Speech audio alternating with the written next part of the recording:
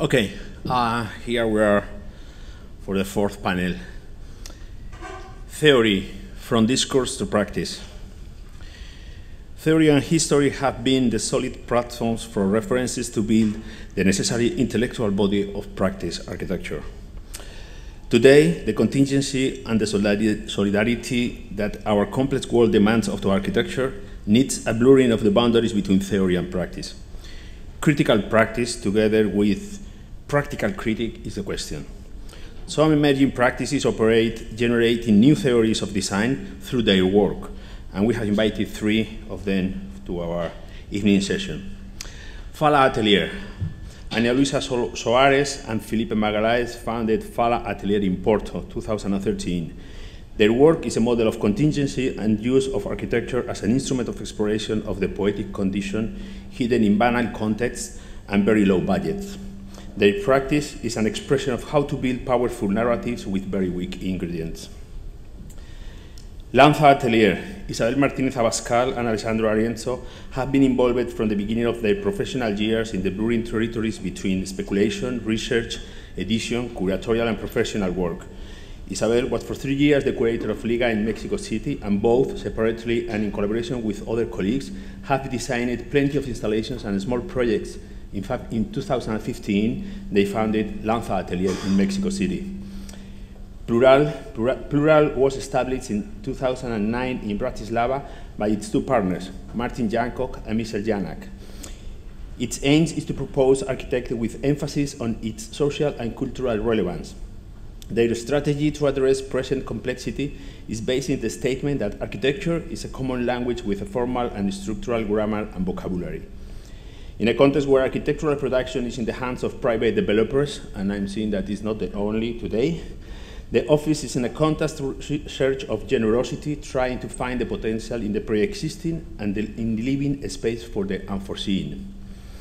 The moderator for this panel will be Andres Jaque. Andres Jaque is an associate professor of professional practice at Columbia GSAPP, where he directs the AAD program Jaque is the founder of the Office of Political Innovation and Architectural Practice based in New York and Madrid.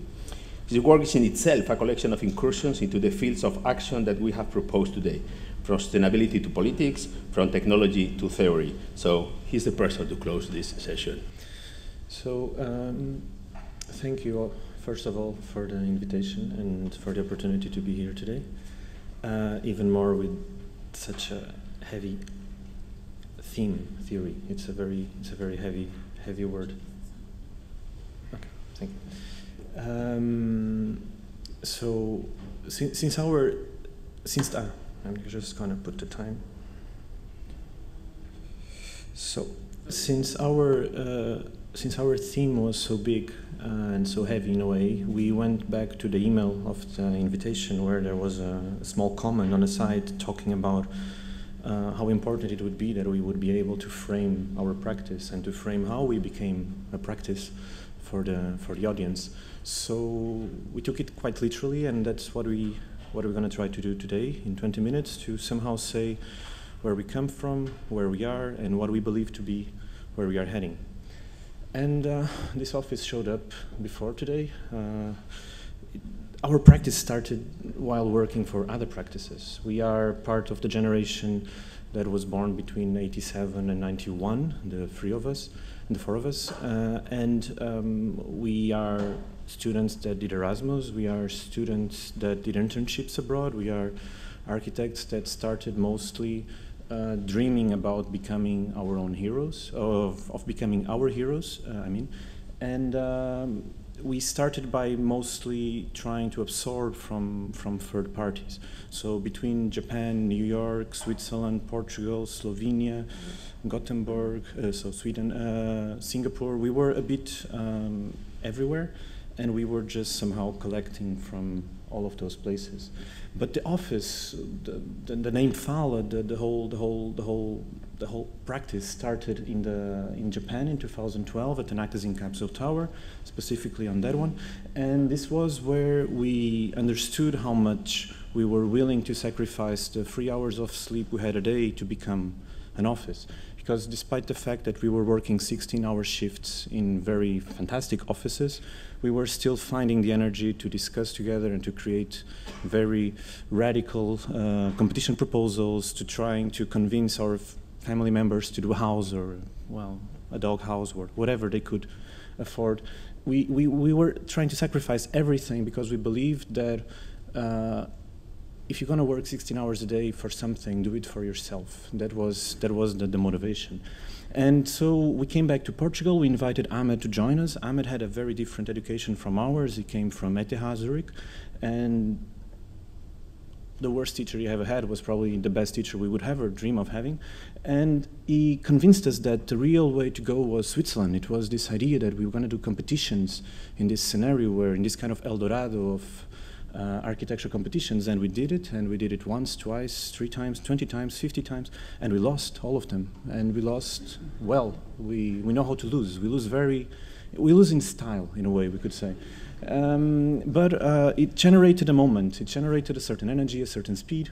We bought an office. The office was 25 square meters. We were free. It was perfect. At some point, we were already 10, and it was still 25 square meters. So we were using only one table. So you can see this was the the daily, the daily scenario. So if you had a client, everyone would move around to one side and we would discuss on the other side. If we were discussing a budget, a project, if we were talking about anything, everyone was part of it. So this idea that the whole family sits together for dinner was a, kind of daily uh, routine. And it became our laboratory. It became the place where we tested options, where we designed proposals, where we discussed architecture, where we discussed budgets, contracts, the whole thing. So in a way, it became the perfect scenario for our practice because despite the fact I'm supposed to address theory, everything we do is driven from very banal commissions, very low budgets. Most of our clients, they don't care at all about architecture. So it's actually a kind of, uh, you know, the Don Quixote metaphor. We are creating our own windmills to create and pick our own fights. And this became what we call the Fala family. So the people that came, that passed by, that left something, that took something with them, and all of them, in a way, they are responsible for whatever we are today. And if we are here talking today, it's because at some point all of these people were through that room. And this is this is what Fala was. Uh, so as a conclusion, the, Fala was a ghost town. It had literally zero, nothing built, no uh, real commissions, no clients. It was uh, a series. There, there, was a series of expectations. There was a huge ambition, but all the, the, the, facades were actually fake. And what happened is that with time, we started understanding that we were not going to build a city from scratch, but we can replace one of these fake facades at a time. And maybe if everything was okay, one day we might be a full city without fake facades at all. And so every commission we got, we addressed it with all our energy. Like we, we were invited to design an exhibition for the Lisbon Triennale, and they didn't give us budget, so we paid for it. We built it. We carried the metal, three tons of metal, to the second level on our backs, and uh, because I mean that, that that was what we had. That was that was what we could do, and when we got some prizes for competitions like this was mentioned, we got for the Chicago Biennale. Uh, we couldn't build it because it was too expensive and because we didn't got the first prize, which is also important. But uh, we thought, what if, what if, all of this energy is channeled to something else? And we designed our first built project, which was a house for a bird. And the fact that the client was a bird doesn't make it less of architecture. It was a very demanding client. They have a series of specific requirements. And when we went to take the photos uh, on a bird fair, because there's a bird fair in Porto, people wanted to buy it. Uh, so I think, let's say, the clients were happy somehow. Uh, and as time passed by, we started via the weirdest possible scenarios, we started getting some sort of private commissions, mostly due to this gentrification process that is happening in the south of Europe, mostly in Portugal, where everyone can get a nationality if they spend 500,000 in an investment. Uh, so if you need a passport, you know, call us. And what happened is that we got a, one project like this, another project like this, another project like that. So we were somehow transforming given perimeters. So let's say the building was already there. We were somehow doing interior work. We were discussing architecture, talking at, you know, we were discussing Palladio to refurbish a bathroom. So it was kind of, kind of Uh, very, very schizophrenic. And as these commissions kept piling up, at some point we had our first building, which of course was half a building, a kind of Frankenstein, because again, there's a given structure and we need to operate on it. And we felt like, what if we react to the context, this kind of old granite heavy context, and we play with the cheapest, lightest materials? I mean, we are talking about a building that is built with less than 250 euros per square meter. This is less than a third of what social housing costs in Portugal. So the client didn't want to work with us. The client doesn't even know we are called Fala. He knows Filipe that's the person he always talked with, so he knows I exist, he doesn't know anything else. And he couldn't care any less about the design proposal, but he let us have a certain. So we, we made a, windmill out of him so we could fight him, and we created this project. And as this kept piling up, we got to a point where once in a while the clients were not paying attention to what we were proposing, so we were pushing the envelope as far as possible. Other times they were, so we had to paint them in white. And other times we were the, the, the clients, so we did a kind of hybrid between both because we didn't have enough money to do the first one. And as the projects kept piling up, we started understanding that our work was divided in two layers. One layer was this idea that projects are the core nucleum of architecture. So you do a project, you do a house, you do a museum, you do a school. And a second layer would be the tropes, this idea that are themes within the projects that repeat so many times that at some time, at some point, they become a project of their own. And this is a trope we like to discuss a lot. Uh, we call them careful mistakes. You know, the idea that you make mistakes on purpose, but you treat them very gently. And sometimes the, the, the, the, projects, they become a lot about a certain element, about a certain, a certain column that holds nothing, about a certain circle or dot that marks an entrance. And as the office started, you know, expanding and started having more and more work, we started touching different kinds of structure from 16, uh, 60, uh, 600 square meters, palaces in, I don't know how you do, uh, we use the metric system. I really don't understand your system. So the, from six, 600 square meter palaces in the historic center to houses of 12 square meters. I mean, to, from the city center to the suburbs, we started intervening these given structures and uh, changing them. And at some point, we were finally invited to design buildings from scratch, houses mostly, for single family houses for young families most of them also in the in the suburbs. And we started for the first time having the opportunity to do those blue models of several volumes just to see how the house is going to look like. We didn't do them anyway because we didn't have the time and we were not paid for that. But we, we had finally the opportunity, if so, to, to test such a tool.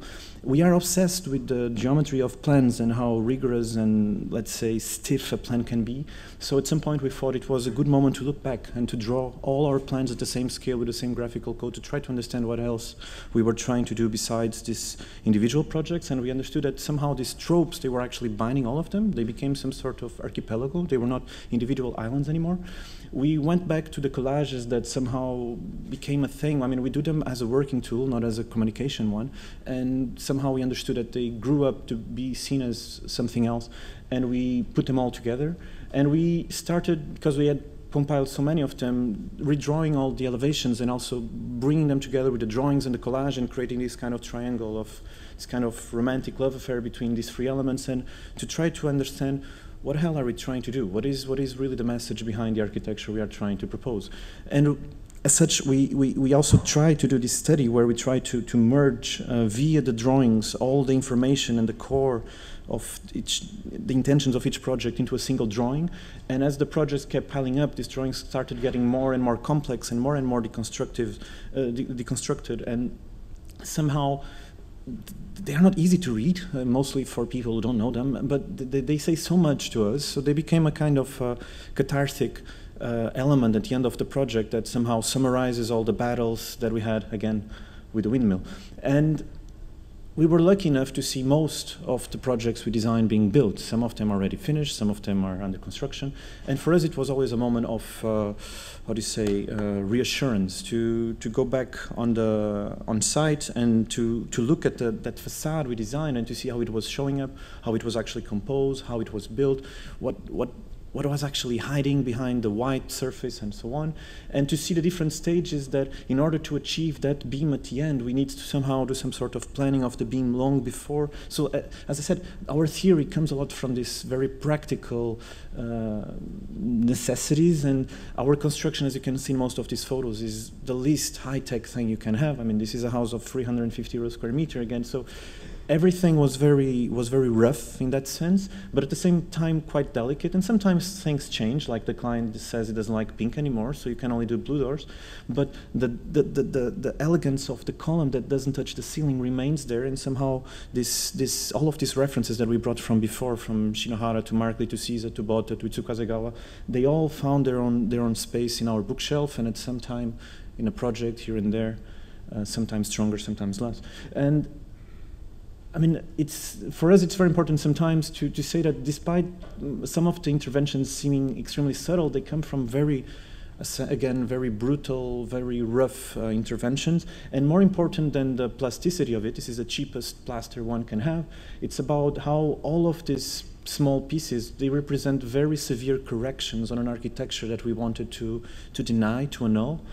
And we got used to see architecture in a before and after condition, mostly because most of our projects, they started with given structures. So this idea that there's a before and there's a promise of an after. And we also got used to see them as the after and the after party, you know, when it's actually built. So if this stage represents the architecture itself, that's the, the celebration moment because it's the moment where it actually happened. Because to a certain extent, most of the times we start a project, we don't really, we don't really believe it's going to go all the way until the end. And we were lucky enough to start teaching in different institutions in Europe. And as we start teaching, we also found a time, I don't know how, to do some research projects. And as we did these research projects, we focused on the themes that attract us the most, which in this case, it's a very specific typology from Porto. We call them the ugly ducks, buildings that our parents don't like. And at the same time, these obsessions of the references that we also had from before, which are much more uh, majestic, uh, found their way through, in this case again in the US, to the Chicago Biennial, where we depicted a series of houses from the turn of the 70s to the 80s from Japan.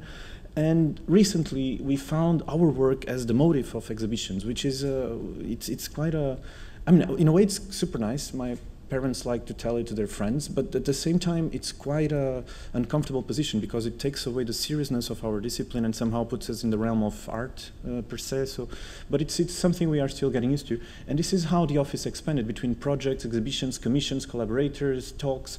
You know, everything was happening everywhere. So if if more than saying that we are a Portuguese office, I would say we are an European office, but it's in Portugal we work, and in Portugal we are now with this problem, which is the, the, the, the, excess of nostalgia, fake nostalgia, because everything that is old, even if it doesn't hold anymore, we preserve it at all costs, and everything that is new looks old.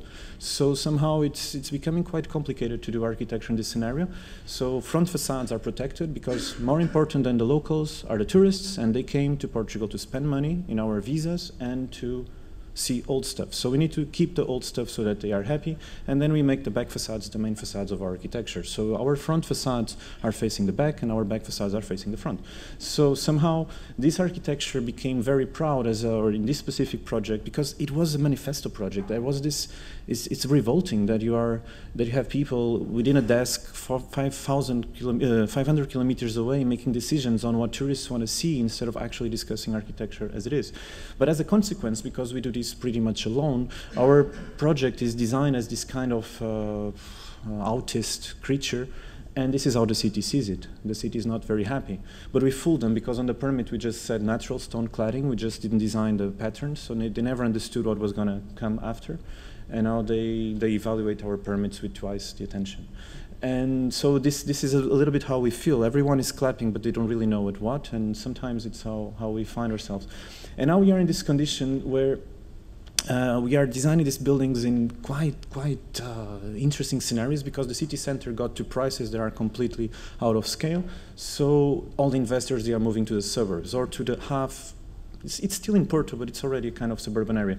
So we find ourselves in this scenario between where housing blocks, factories, and the train lines stand, and we are asked to design the the most straightforward development with 15 studios for students and you can feel that a plan suggests a certain sense of repetition because the, the minimal area, of course, everything is very efficient and very uh, rule based. But at the same time, what if you have 15 times the same thing, but you have 15 things that are different from each other? Including the bathrooms. What if you find a way where every single room is designed in such a way that if you do a storyboard, you never have twice the same perspective? What if you test it in a way where the materiality repeats itself, but you always find a way to create some sort of distinction that makes each of these apartments unique? As you can imagine, the promoter couldn't care any less. It, this for him, again, this is not a windmill, this is a gigantic fan of those that you find in the oceans. It's really the enemy we created, and again, as long as we are inside a budget, they are fine with it. As long as we respect the Excel sheets they send us, so that's what we did. And we felt like as a provocation, because this is the highway where about 1.5 million people cross every day, we thought, what if we say something about our architecture, not by writing foul on top of it, but by making it friendly, by making it look like a cat, and cats, they say meow. And what if we find a way where this kind of positive energy goes, you know, like a boomerang, it goes and somehow comes back and brings something together with it. As I said, we were lucky enough to see some of the buildings finished. So this is our first house, Project 23, and it was it is about to be finished any moment now. The, the, the, second house, we, and we usually call it the pornographic house because the relation between private and public programs is very direct. And after that house, we created uh, the, a second house, which was which is now also under construction, which we call the erotic house, because there's a very big negotiation between private and public programs. Different clients, same program, different houses. And for us, it was quite quite something to be able to work many times in scenarios like this, where you have this very uh, regional architecture and you need to fit in because of both local regulations and the requirements of the municipality. But at the same time, you feel good with it. Our architecture is not stick to any kind of uh, stuck to any kind of uh, language preconceived ideas. So we are okay with everything as long as we manage to do a good project out of it. And sometimes we get projects like this. This is a very funny one. This is a clothing factory from the 80s that uh, previous owner designed to look like a house so that it would fit in the context. It's a very fucked up house, but it was his ambition that this was fitting to the context. And he asked us, the second client, so our client, to transform this into social housing. So we felt we have maybe an opportunity to transform the factory that looked like a house into a housing block that looks like a factory. So what if we play with this kind of uh, uh, semantic innuendo, and what if we somehow find a series of rules in which the factory is somehow stuck in the middle of the woods, because this is a very, a very special, special neighborhood, and we play with all of this. So this is the bathroom of one apartment. You can go out and go to the bedroom of the other one, so you can have a very promiscuous lifestyle with your neighbors. But it's it's all about it's all about this idea of reacting to a certain to a certain scenario, to a certain given condition, and inside the project is the the, the thing we could afford 180 uh, no, 280 euros per square meter uh, I, I, know I say many times these numbers, but it's, it's, it's really, it's really, it's a limitation for us. We believe that we could do more if we had the conditions, but we don't. So, as Ahmed many times says, we transform the commissions that no one else wants to take into the possible, possible architecture we can achieve. And once in a while, very rarely, this happened only once, uh, we got a commission to design a public building, and in this case, a very small public building. So a small gallery for the Sao Paulo Biennial, uh, because they had a satellite event in Porto. And we were asked to design, together with a few other architects, pavilions to fit some art pieces. And for us, you see, like the moment this arrived, we started designing folies, folies, folies, because I mean, we didn't know how to react to it. There was no bathroom and no kitchen to design, so we just got so excited. And we designed this this uh, this folie, and we designed a detail with you know like half of the beams are actually fake; they are just hanging, so they are doing nothing there and everything is about how the blue is cut by the pink and how the, the curve is intersecting the structure and so on. But everything is about a certain sense of contradiction. But it was it was probably the most uh, the most joyful project we did in the office, like designing a cuckoo clock of some sort, and um, and then we got back to normal. You know, we got back to okay, make an apartment out of these 30 square meters granite check. And when we started working on this, and we had such such energy from from from before, we felt okay now we we cannot go back. You know it's one of those things. When you give a few steps in that direction you don't want to return to where we were before. So we started doing all of these tests both in terms of the scale and language of the object and in terms of the detail and actual texture and expression of it. And we actually made uh, we convinced the client to go all the way through and to design this house that actually has all the possible constructive techniques at the same time wood metal granite concrete brick but in the end, it's all white. No one has to, to know about it. And because we fucked up with the detail, we had to double the, the roof, but everyone says it looks very good, so we are happy with it. and then we find this kind of sexy elements within the within the within this very small this very small house. But what it really matters to us is the fact that we made a shower that is nine meters tall, and you can see the sky when you shower, and that it has a very strong expression. And the client was very happy because he had a supermarket in the back, and he said he does notice he does not notice the supermarket anymore. So he's very happy with it, and we are very happy because somehow this was the first client that ever came to us and said, "I know your work. I want you to do a project for us that kind of follows the same." approach of your other architecture and this was unique in 105 projects this happened once so it's quite quite fantastic and this is this is the this is a factory where another client asked us, I need an elevator and a staircase to fit regulations, but we were not very convinced with that. So we did 100, 1,000, 2,000 tests on how we could make a facade out of this, and we proposed that the whole the whole infrastructure had to integrate would somehow become a very proud moment that would become a, a new face for his for his company, and this is an intervention that in plan occupies about one percent of the factory but in terms of its public appearance, it became 150% of the factory.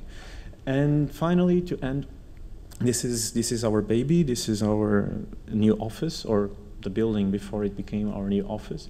Because recently we understood that we had to expand, we had to grow, and because after five, six years, uh, 10 people in 25 square meters is not okay, at least in Portugal, it's not okay at all. And clients started noticing that, contractors started noticing that. So we bought this building. We made a, we gave a leap of faith. Uh, we invested a lot. We fully transformed it, and it's now finished. And to make it even more, let's say, uh, compatible with this idea of the Fala family, me and Ana live on the last floor. Ahmed lives on the middle floor, and the office operates on the ground floor. So somehow we, we, we took this idea of living and working together quite quite too seriously. And I would like to end with this image, the best movie that Spielberg did, in my opinion, where Peter Pan grows old, so he becomes an adult, and he starts having all of these uh, growing pains. And he goes to London, he starts a company, you know, long story. The point is, the whole movie is about Peter Pan learning that he has to go back to Neverland and he has to fly again and he needs to fight Hook, and there's all of this 90s uh, terrible special effects. And what, what is the crucial message here is that Robin Williams at some point uh, is told that the only way for him to fly is if he understands why is Peter Pan in the first place. And the reason is that despite the fact that he's growing, that he's becoming an adult, an adult, that he has responsibility, that you know there's a whole life that is not told to us when we are kids that somehow happens he can only fly if he's happy enough and if he understands why he was Peter Pan in the first place, if he understands the joy and the pleasure that being Peter Pan brings. And this is why we are truly convinced that Robin, Williams was the best Peter Pan and is the best metaphor for a young practice like ours. So thank you so much.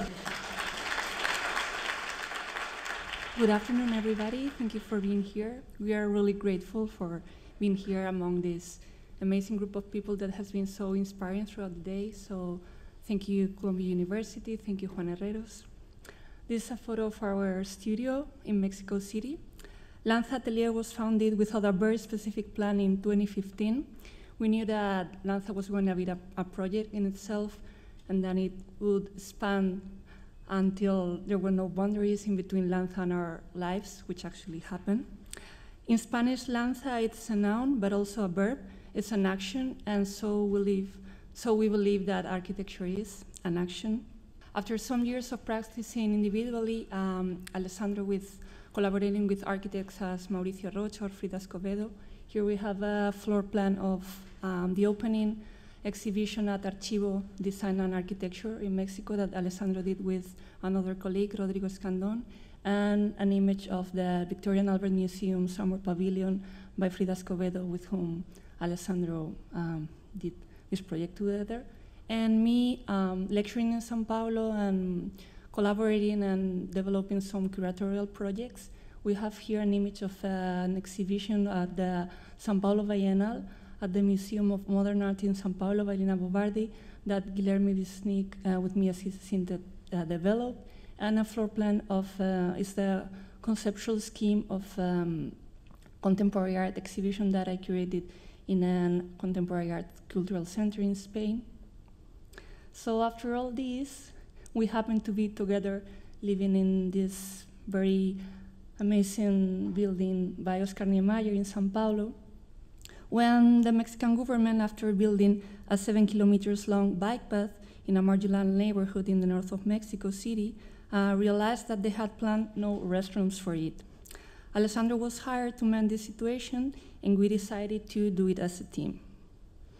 Restrooms were not the only lacking thing at the bike path, but also vegetation, shadows, and mainly any kind of infrastructure that allow people to gather in the public space. So we designed some restroom and shadow modules, um, exploring the relationships in between inside and outside. We usually use references as driving forces for each project to help us focus on a specific concept and try to go deeper into it. So because of having to supervise this, the construction of this project, newborn Lanza moved to Mexico City, where they actually stayed until now. We started to work from our living room, and we got an invitation from Salotto Buono, an Italian office, to participate in a book after Superstudio 5 Fundamental Acts. We were selected to be under the topic of love. uh, which we liked a lot. And we rewrote an extract from a Superstudio text, exchanging some parts to introduce our biographical story. We just reread this text a couple of days ago, and it made much more sense now. So I'm going to read a, uh, an, an extract. At night, we both redream all the architecture we had separately produced. We redream all the buildings we had built and all those we had lovingly measured. We dreamt again of our love for stone, steel, crystal, of that catalogue of for an Oriental satrapy, certainly written through a fear of death, but also written with a furious love for a life of reason for a rich and varied life filled with all the shades, tran uh, transparencies, and glow of marble and mirrors. So these are photos of almost every bed in which we slept while we were living in different countries. Um, the, um, the idea that is present here and that we think it's important for the way of doing things at Lanza is the concept of atlas, of selecting and collecting reality pieces and putting them together to find or to suggest a meaning, sometimes a new meaning. So when we moved to Mexico, I had this, we have the empty apartment and we had this housewarming party and we start to to use the slide projector I bought, like a Japanese projector that only allows you to put two slides at a time. So we start playing to super uh, juxtapose two two slides at the same time of my grandfather. So we start playing with this um, layering of, of background and figure at the same time. For us, this was our first uh, project without a client. So at this moment, we took every project or any idea we had very seriously. So after finding Alessandro's grandfather slides, the connection that, that, that was there in between this process of superimposing layers and our work is the idea of putting together several meanings in a single spatial concept. And depending on how the user focus his or her own perceptive lens, they will experience uh, something different. When curator Jose Esparza invited us to do um, exhibition design for a series of shows that were going to happen at Jumex Museum, we designed a folding screen that the museum could store uh, in a very small space so that they could reuse it. We designed this folding screen out of um, wood and brass, and because we were still working from our home, uh, in the ground floor of, of, our building there was this wood shop because we wanted to control the production of the folding screen from close. We decided to work with this woodworker with whom we've been working for four years now. The exhibitions that you see here have been taking place since uh, four years now, and we hope they continue to. First one was uh, on Jerzy Grotowski, a, Pol a, Polish theater director, so we wanted to create a very dramatic scenographic atmosphere. And this second one was on um, Californian architecture critic Esther McCoy, so we wanted to give it a much brighter uh, atmosphere. This is the, the third and last one till now on John Cage that, the, that Jumex Museum put together on their own. At some point, a final year student came by to interview us for his uh, thesis project about architectural representation, uh, Alejandro Marquez. Uh, some weeks later, he called to say he wanted to work for us, and it was perfect because Isabel was starting to work at Liga, Space for Architecture, being the executive director, and, and she was going to spend more time outside the studio or home. So we accept the proposition. First Marquez uh, challenge was doing this model for the for our first uh, expansion of a house. Uh, we had a trip to Spain, so we asked him to make the model, and we just say goodbye. So when we returned, this was the his model, and he was hired.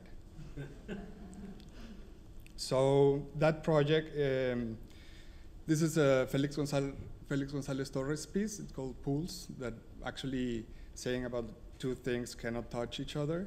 In this case, the water splits from one place to another. So being the, the project an extension, we actually were building another facade in, in front of the, uh, the adjacent um, facade. It was a blind facade. The client bought a, a small piece of extra um, terrain. So let me explain the story. The house had a real problem in the living room. Uh, it was very hot, like had like a greenhouse effect. So they want to, to change all the facade. We, we made a lot of uh, options, and at the end, they decided that they didn't want to touch the house because they had like a very apprehensive uh, relationship to it. So we decided that the, the main objective to um, make the, the hot go away is to make more um, crossing ventilation. So there was another problem that the the rooms weren't uh, didn't have like a hallway to go to a, to the second room. You have to pass through the first room. So we we got the idea to make a, a second hallway to organize the, the rooms, and um, the heat on the living space actually changed a lot. At that moment, we made tattoos. We're still making tattoos. So we had to pay uh, an employee, and we also needed a space because I was tired of opening the door in pajamas. So the, the tattoos were the, the side job that actually was financially the studio. With this, sorry. We just wanted to give a message to the students that it's normal to be broke for the several years of practice, so don't worry and keep on. So with these tattoos, uh, we're allowed to move to the, our first office. It's still our same office till now. This is Alejandro Marquez working on the floor. And because of that first tattoo, the brother didn't want to, well, the story is we received an email about having another appointment for his for his uh, big brother, and the brother actually wanted a house. He didn't want a, a tattoo, so we were super confused about if the house was a house or a tattoo or where it was going to be. You know. So this house um, is in a in a forest between Mexico City and and Toluca. It's in a it's a very like fancy um, housing complex. Um, this, the terrain is 2,000 square meters. Uh, we were impressed when we, we got there. Um, we wanted to, to make the house privately because they were very close to the highway and there was a lot of noise, like constant noise, and the houses around that house were very um, yelling or terrible. So we decided to have this uh, wall around the, the trees and.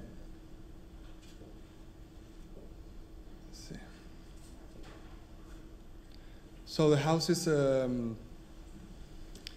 it's a one it's single floor house and it has like a adjacent building in front of it. So we wanted to have like a surrounding like to take some part of the woods. Uh, by know, you- maybe you can express it.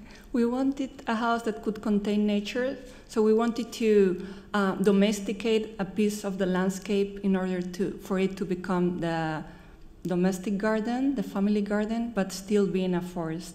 Throughout the process, the, the client cut much more trees that we would have loved to, but still we are happy. We spent one year designing the house, and we've been two years uh, building the house. So this house is the same age as we are at Lanza, I think.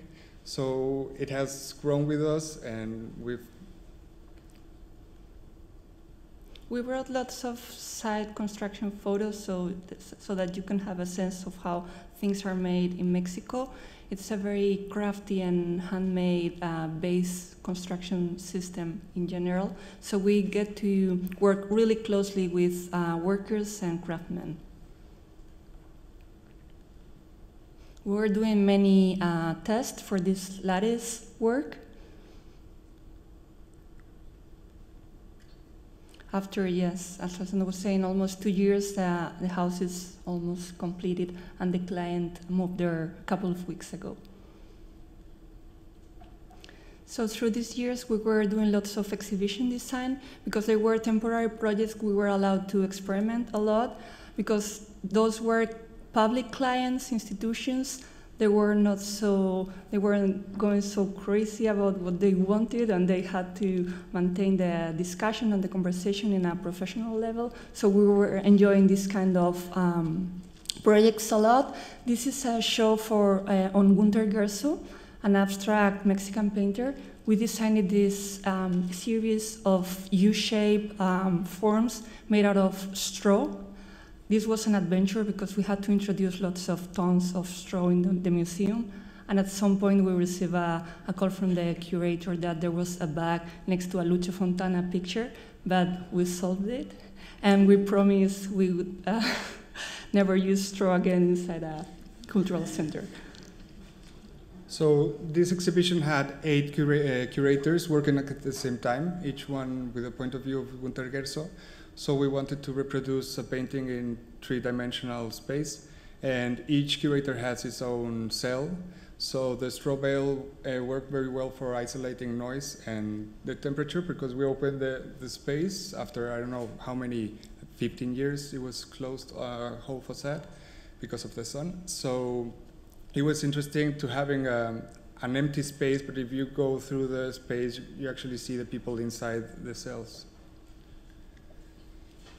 This is a competition for El Eco Museum. We were continuously refinding geometries that we had used before and re reworking and redeveloping them. Uh, we decided for this uh, competition to use the perimeter of the patio inside the pavilion had to be and reproduce it with a more organic curvy geometry. We also didn't win. But um, everything we at some point design stays in the back of our minds and continuously comes up, comes out again. We start getting some uh, projects published. It's always nice to have some acceptance of recognition. Uh, this is one of the last exhibition design projects we completed in our first years, year and a half of life.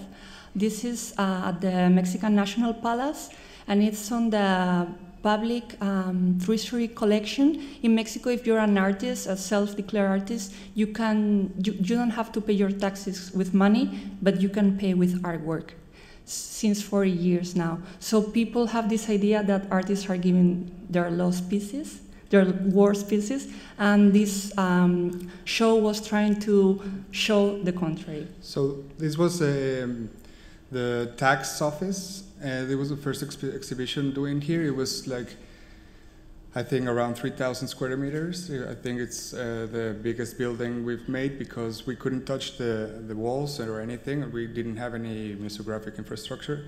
So we decided to build the infrastructure permanently for, the, for this space. So we did these uh, frames to hang um, exhibition panels we work a lot with physical models, as you can see. This allowed us to work very closely with the curator uh, that, of, of course, wanted to move panels from side to side until the very last moment. There were about 300 uh, paintings and like 50 sculptures, so we decided that we, we, want, we didn't want to show the, the paintings on, in one wall at, at, the same time. Instead, we want to have a time and a, and a um, un recorrido. These uh, panels allow to have moments of intimacy throughout the, the show, closing the cross views and allowing you to spend more time in each um, part without creating rooms. So At this time, we've been making a lot of exhibition design. Uh, we did a lot of uh, projects that we didn't actually build. This was for a museum underwater. Um, we start uh, testing our carpenter also, like doing replicas of chairs we liked, uh, doing furniture for offices, uh, doing um, research in drawings. This is a series of uh, vernacular houses in Mediterranean in some book I found, and redrawing them in axonometric, uh, Egyptian axonometric. So try to define when I was drawing outside or when I was drawing inside. Um, this is like a regular uh, meeting in, in, our office, uh, and some other models we would like to show. And back in the yard, we can see it just. Uh, These are Jessica and Selena. This was about one year after moving to, to our office. We are still a four people office. So we were approaching all scales like furniture as architecture and architecture as furniture. And the small scale projects allow us to, as I was saying, to experiment more and to test out concepts and ideas. And I think it was the first time we had like uh, more projects at the same time. So doing the same scale models and drawings helped us to actually realize in which size we were uh, thinking. Uh, this is the, the biggest thing we had had so far. So, uh, well, this is our also drawings for furniture. This is like uh, past year, a little bit more um, having more ideas. This there was supposed to be a, a, a dining table that it's uh, actually activated without the, the human. So when the human uses it, it breaks it, it breaks it. So it has like a certain way of dealing with the non-use.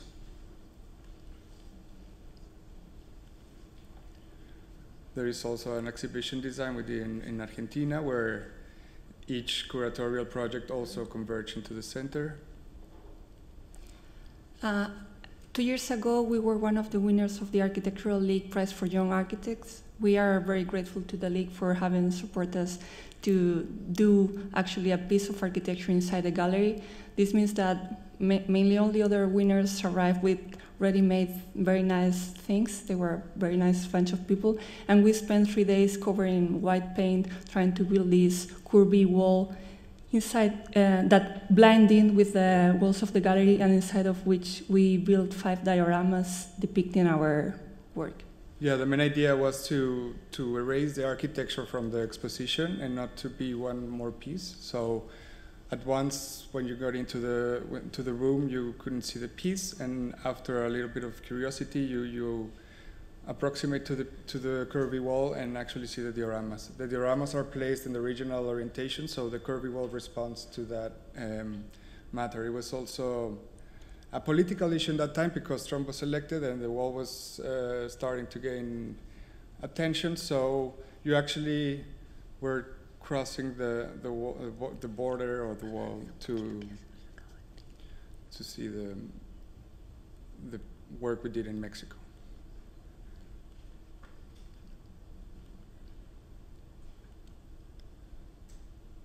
So we're going to keep some some other photos. So this is a, a, table that we wanted to start drawing in elevation. We didn't want to start drawing any plan floor for the table. It's a it's a table for 26 people. The client is also a client tattoo. A tattoo uh, yeah.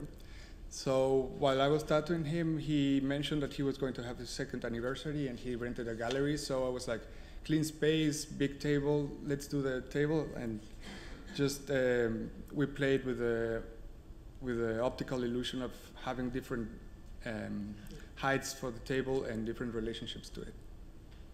The office after two years, uh, we kept experimenting with different materials, different shapes of the same thing, and I mean. This idea of furniture that is activated by the user, and the next step towards a medium-sized installation that it's actually a, a, group of spinning panels. At one point, we earned the FONCA grant, so in Mexico we have like 400 of these police stations. They were built in the 80s they were supposed to to to work for surveillance or to call an ambulance or a fire for any emergency. Right now they're like underused. So we redraw all of them. There was no information. We drew the map and tried to transform them into public infrastructure, having uh, water tanks or small libraries or compost, uh, urban compost uh, centers or even playgrounds. They were at the end, there's, there's 16 typologies we have in Mexico where we're shown at the SF MoMA near to the, to the table they built. Uh, at the end of last year, we had a collaboration for the first time with other three architects, To and Alberto Deriz, inspired by this idea of equilibrium in Mexico City in between water and built mass. We erected this pavilion with earth blocks, um, done with just with a pressure machine on a pond. Uh, the, the walls are three feet thick, but still they are transparent through the holes, so this contradiction is very present. This was one year after the earthquake uh, from last year, so the this material we the money we got to do the pavilion we use it to buy the blocks and then use the pavilion as a just a, an a passing through an excuse to to to buy the blocks and then send them to the community center to, to continue building it. So this material is going to be used at Ocuilan, this small uh, town, for a community center. The blocks are uh, just uh,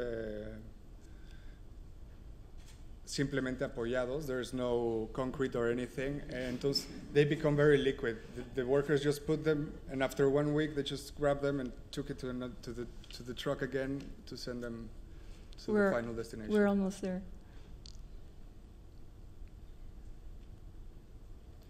So uh, just to uh, finish, um, there are projects that we haven't managed to materialize, and they keep coming back until we have the chance. So for years, this small uh, library pavilion has accompanied us, and now we hope to build it uh, in São Paulo.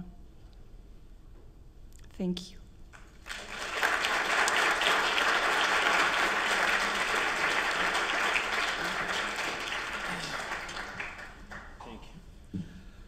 Okay, Martin Jančok and Michal Janak were the first being today in the morning here. So this is your moment. they were 8.30, they were. Thank you for coming. Okay. Thank you very much for the invitation. It's been really a pleasure and uh, all these days, like it's wonderful. Also, thank you very much all the speakers. Uh, so uh, uh, we're called Plural. Uh, we are from Bratislava, which is in Slovakia, uh, in Central Europe. Uh, it's capital of Slovakia, 60 kilometers from Vienna, approximately. We are a small studio of three people, sometimes four, depending on the collaboration, but the core is three. Martin established the studio 10 years ago, and I joined in 2013, so there is a kind of a generational gap between us, which is uh, interesting, and also that's uh, uh, what influences us in a way. But uh, we will also talk about uh, our kind of uh, preconditions of our work as we are in this theory block, and it's difficult uh, for us because uh, when we are talking about it, we uh, thought like, okay, if it's from theory to practice, maybe for us it's more from practice to theory as we are now more engaged in academia. Uh, I'm, I'm doing a PhD in uh, Faculty of Architecture in Bratislava, and we also started to more theorize uh, the, our environment, especially the, the Bratislava as a city, because we uh, have been fascinated by it, and uh, we have been fascinated by it as a condition that uh, is not uh, usually seen as pleasant or good, or is seen as something that has to be changed. Uh, this is a project by a collective VAL, which was a artistic architectural collective in the 60s and the 70s, consisting of a conceptual artist and two architects. Uh, and this is what uh, they produced. They produced uh, these uh, projects uh, uh, of uh, that would kind of reflect the, the architecture of that time in a way that these were the monumental projects, and it also shows that perhaps this could have been possible in that time in Bratislava. Uh, Bratislava, it's interesting for, because it's a product of 20th century. Before it didn't exist as, uh, as it is existing now. Uh, it has been basically colonized by Czechoslovakia after the First World War. And uh, since then it has been uh, rapidly urbanized. And so it doesn't have this kind of a uh, classical tradition or, or, tradition of classical urbanism, and it doesn't have, still doesn't have this kind of image of itself. It doesn't know what it wants to be, or it sees itself as something completely different uh, that it really is. So all these kind of uh, regimes in 20th century, all these uh, new ideas of what the city should be like, uh, uh, came to the city as a tabula rasa and tried to overwrite it. So also the theoreticians and historians uh, call it unplanned planned city because so much of in the city was planned but uh, uh, was put together in a more unplanned way. Uh, this is the map we did as uh, our endeavor in uh, trying to document what Bratislava is. we call it Project Bratislava. And two years ago, we conducted a workshop with students, and we tried to do this morphological st uh, study where we would uh, uh, try to draw how we see Bratislava. So you can see this kind of a different island of uh, different urban conditions, and we deleted uh, the areas which are more uh, mixed, and this is how you see actually also perceive Bratislava as some kind of a very discontinuous conditions of artifacts of of islands that collide in certain areas, and they are of various uh, uh, urban ideas and are also various sizes. You can see, yeah. For instance, you can see the modernistic uh, estates, the huge modernistic estates uh, on the outskirts. Uh, it, there is not the whole Bratislava. Actually, Bratislava has a footprint of Vienna, even though the population is maybe one quarter. Uh, this is one of the largest modernistic estates in uh, Europe. Uh, it has all, almost 200,000 inhabitants. It was built uh, in the 70s and the 80s. And all this is the core of Bratislava, like what was in before the First World War, Bratislava was only this. So you can see it expanded rapidly. And until 1970s, it didn't have actually any kind of a regulation plan of uh, how it would expand. So it would uh, expand very dynamically and uh, speculatively in a way, even though it was planned. So you can see it in this sketch of uh, one of the most uh, important architects, uh, Stefan Svetko. And uh, here you can see various artifacts of uh, projects which were not built, but they were planned to be built in the 70s or 80s, and he put it down. And also that this is a story of Bratislava that so many of these projects were planned, and but only fragments of them have been implemented, such as this transversal axis, which is which is uh, pink. And he proposed various projects on this axis.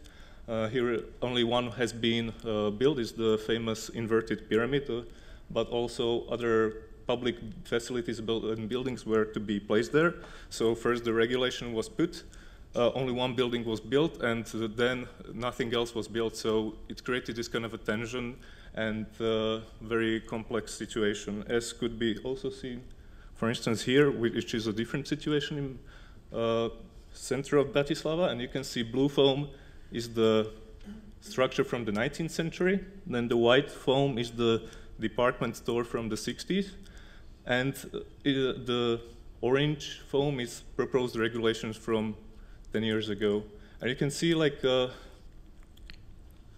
even the, despite all the power of, of the government back then, it was not possible to implement the idea of the modernistic uh, complex uh, in its fullness. Like you can see the situation being kind of awkward and complex.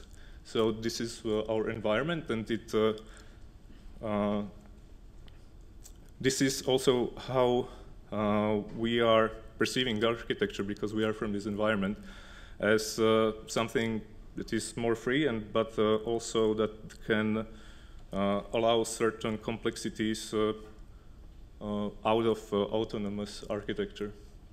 So uh, this is uh, the continuation of our research project. We uh, mapped uh, actually the outskirts of uh, Petržalka, the, the, the, largest modernistic estate. And we've seen that on the perimeter, actually, it's being uh, uh, occupied by new structures. And along this ring, certain new linear city is becoming to be. So there, there are these kind of inverted situations where, where not the total ideas are not implemented in the fullness, and also uh, the in-between spaces are being uh, occupied. Um, we documented it in this Ed Ruscha way, and also in video and uh, photography and others. You can see it here. So, a very complex situation on the outskirts, and it uh, complements the Petržalka in a way that uh, it's uh, all that the modernistic state isn't.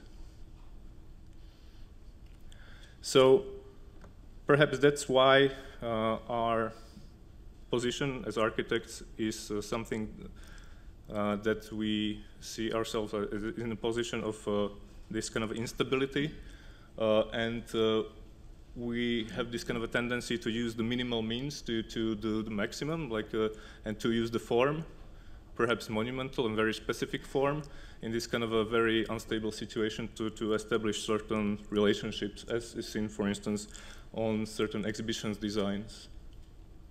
Or, for instance, in our proposal for uh, and project for the uh, bookshop, which we've seen as uh, something, uh, even though it was a bookshop and it, it uh, was uh, an interior, the, the, it was something public, so also the form had to address this kind of a publicity, and so we used this monumental form of uh, staircase uh, to to make it uh, to signify the publicity, and also to to signify it, it as a as a point of the map. Also, what we see ourselves uh, is perhaps represented in this image uh, of Bruce Nauman, the dance on the or exercise on the perimeter or square. It's uh, establishing these uh, basic uh, relationships by architecture uh, of, uh, we see it inher inherently as something public and by very specific form we can uh, address something that is very uncertain and unpredictable. As could be seen in this project, it was a summer pavilion for Slovak National Gallery, and you can see all this uh, complex situation here where the actually the the gallery is a Renaissance uh, courtyard building uh, with the uh, new addition from the 1960s, a very monumental one. It's, so it's creating this uh, open courtyard, and the Slovak National Gallery wanted to do a program there uh, during the summer, but the space was the space needed some kind of a definition, but a formal definition. So by the minimal means of, of this uh, spatial grid, uh, the, the space of the, the courtyards was measured, as you can see here in red, and it allowed to establish certain possibilities of a program to happen there. Um, quite frequently we use uh, references to discuss uh, certain ideas uh, spatial ideas, basically, uh, but also to relate uh, ourselves to, or our work to relate to the history of architecture. We are not scholars, so we work with it in a kind of a naive way, where we um, basically strip uh, the, the reference or the, the pre precedents uh, to its basic essence and we use it as some kind of a guiding principle uh, throughout uh, our projects or throughout the, the preparation, but also uh, later by explaining our project.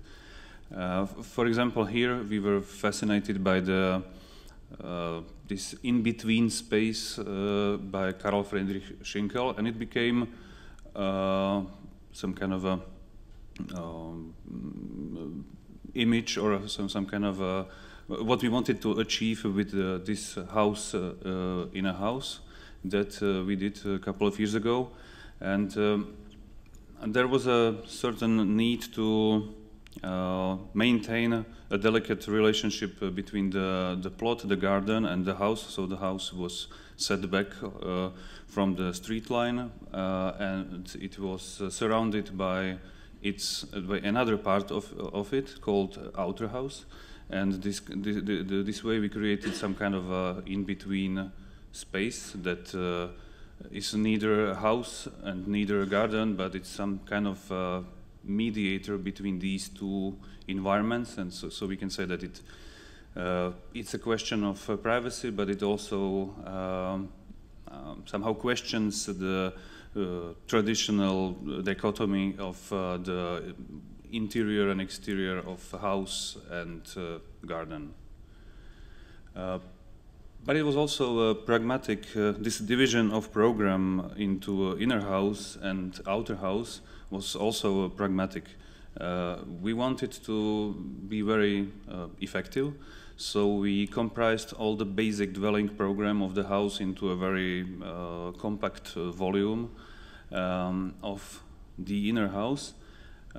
which is quite a moderate size of 12 by 12 meters, so it's not a big house but we, by enclosing it into some kind of extension called the outer house, uh, uh, it gains a new quality, or the uh, we, we somehow were able to to, to um, work with this contemporary paradox that we architects have to be extremely effective or uh, cost uh, effective, but at the same time we would like to achieve some kind of a generosity or spatial experience. So in this sense, we were able to or at least we think we were able to uh, achieve a, a very uh, clear formal plan, but also a very diverse one.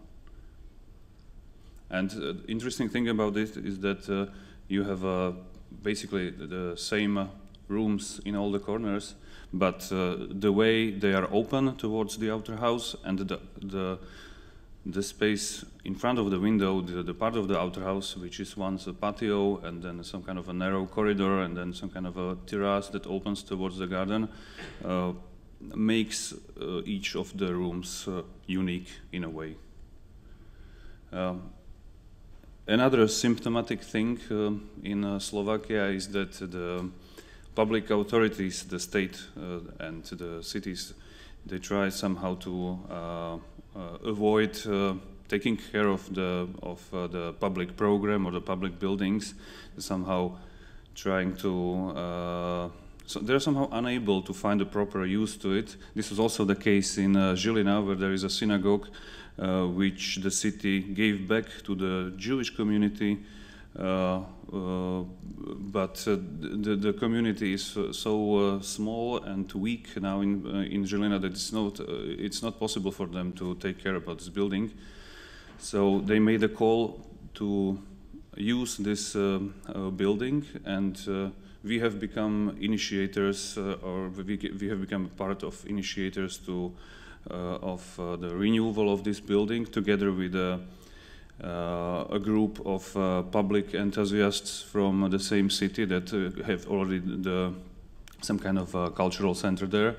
And we have initiated this process of transformation of the synagogue into a new cultural space in the in the city. By the way, the building was designed by the famous German architect uh, Peter Behrens. Uh, it's uh, almost unknown; only a few experts on his architecture know about it.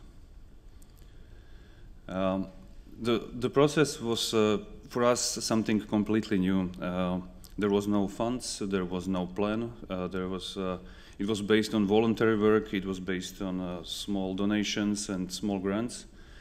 And uh, there was a lot of people involved who tried to somehow define the way it will work or how it should, should work. There was no co um, coherent construction documents. So it was a complete uh, insecurity in a way. For us architects that uh, usually or uh, traditionally we, we, are maybe trained or used to environment that we can control things, it uh, could be really frustrating. So we had no other choice but to find other strategies or find other ways to, to deal with this situation. So we decided to uh, selectively or uh, productively lose our control, and uh, we had to learn what to choose uh, or what is important for us and what we have to keep uh, under our control, on what, what can be just left for uh, the others to to finish or to to, to, um, to contribute. Uh, as this might seem a disadvantage, it also has uh, one big advantage uh, that is time, which is the luxury that uh, not many of us have uh, today. And um, we used it in some kind of uh, uh, real-time testing of different spatial ideas for, for, the, for the building. we, we called it pre-openings. It was basically uh, once in a, in a while the, during the construction process and the, the, the gradual uh, process of transforming the building, we, we opened it for the public. There was exhibition or there was uh, some kind of special event. And uh, it was not only good for us to, to test the, the architectural uh, solution, uh, to make it grow only into extents that are somehow appropriate for, for the particular place and uh, particular context.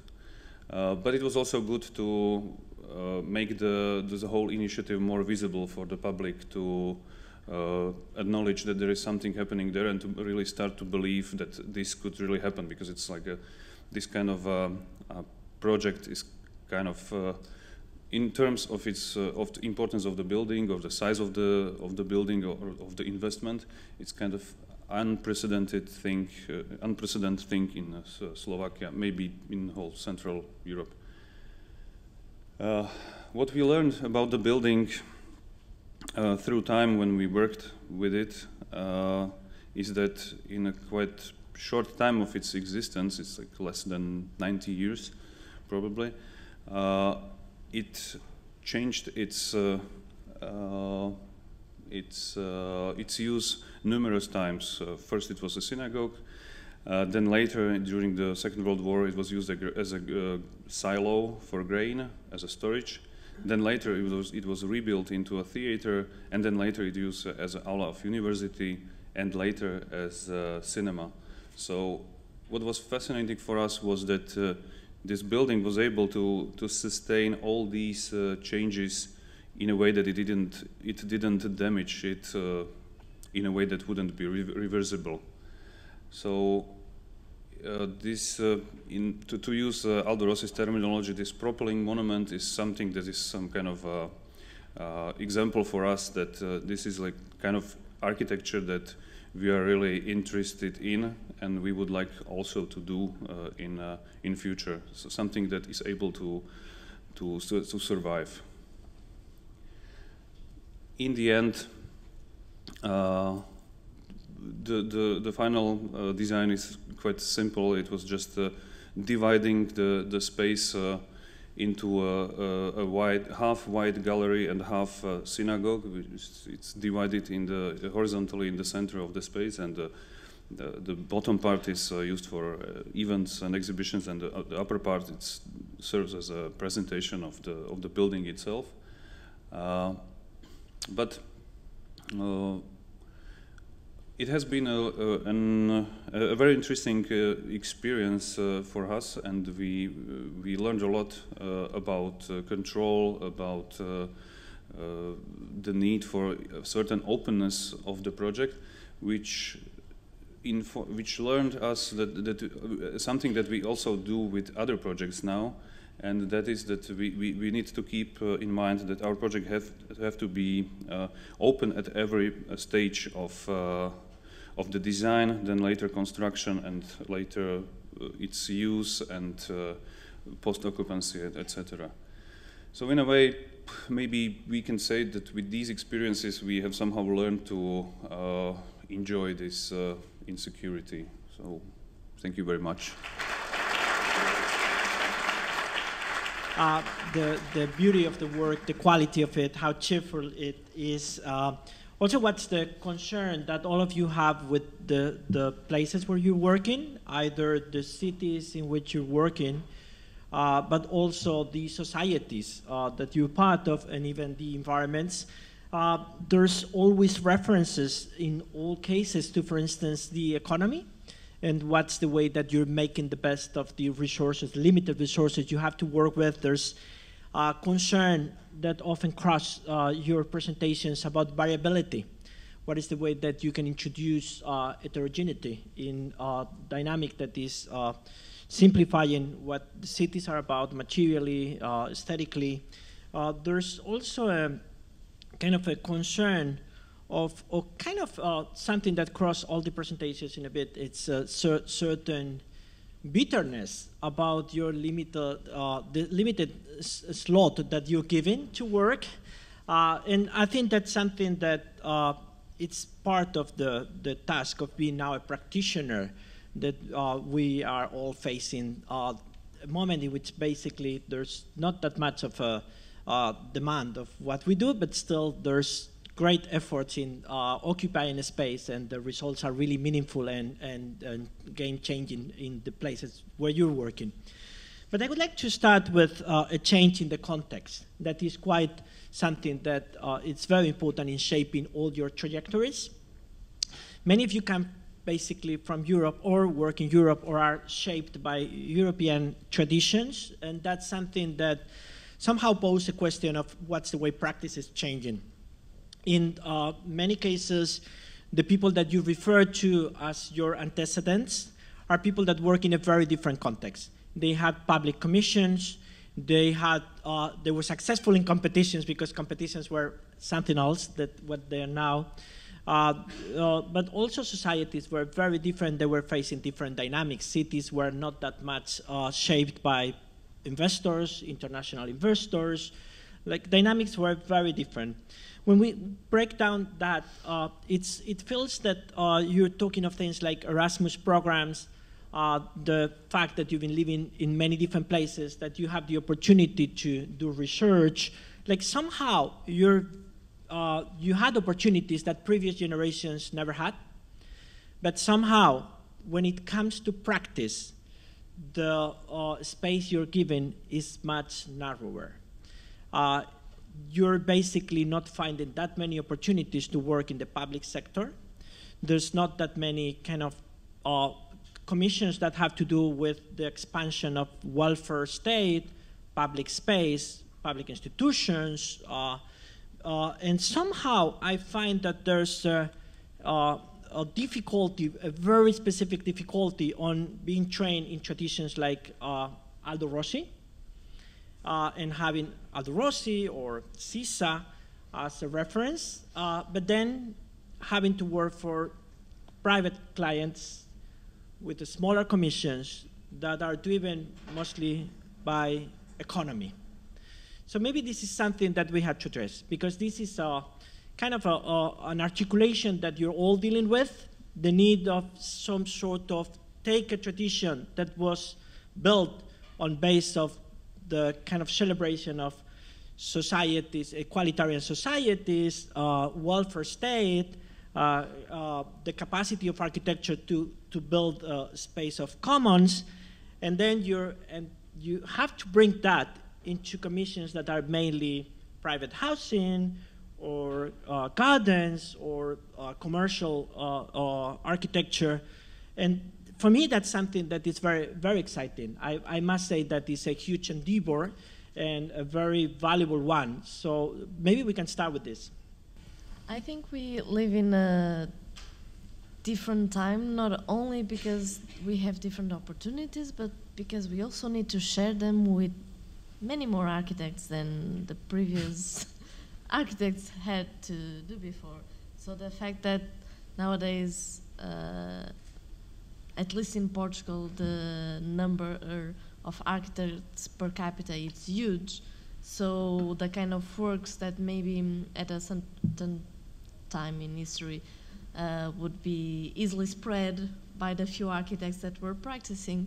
Uh, now with the lowering of uh, public investment and the increase of number of architects makes us force us to be a bit more um, flexible in what we do or what we accept and trying to find other kind of work mm -hmm. because the perfect time where an architect was the hero of the city doesn't really exist anymore Um, so I think it's really about adapting to the conditions we have.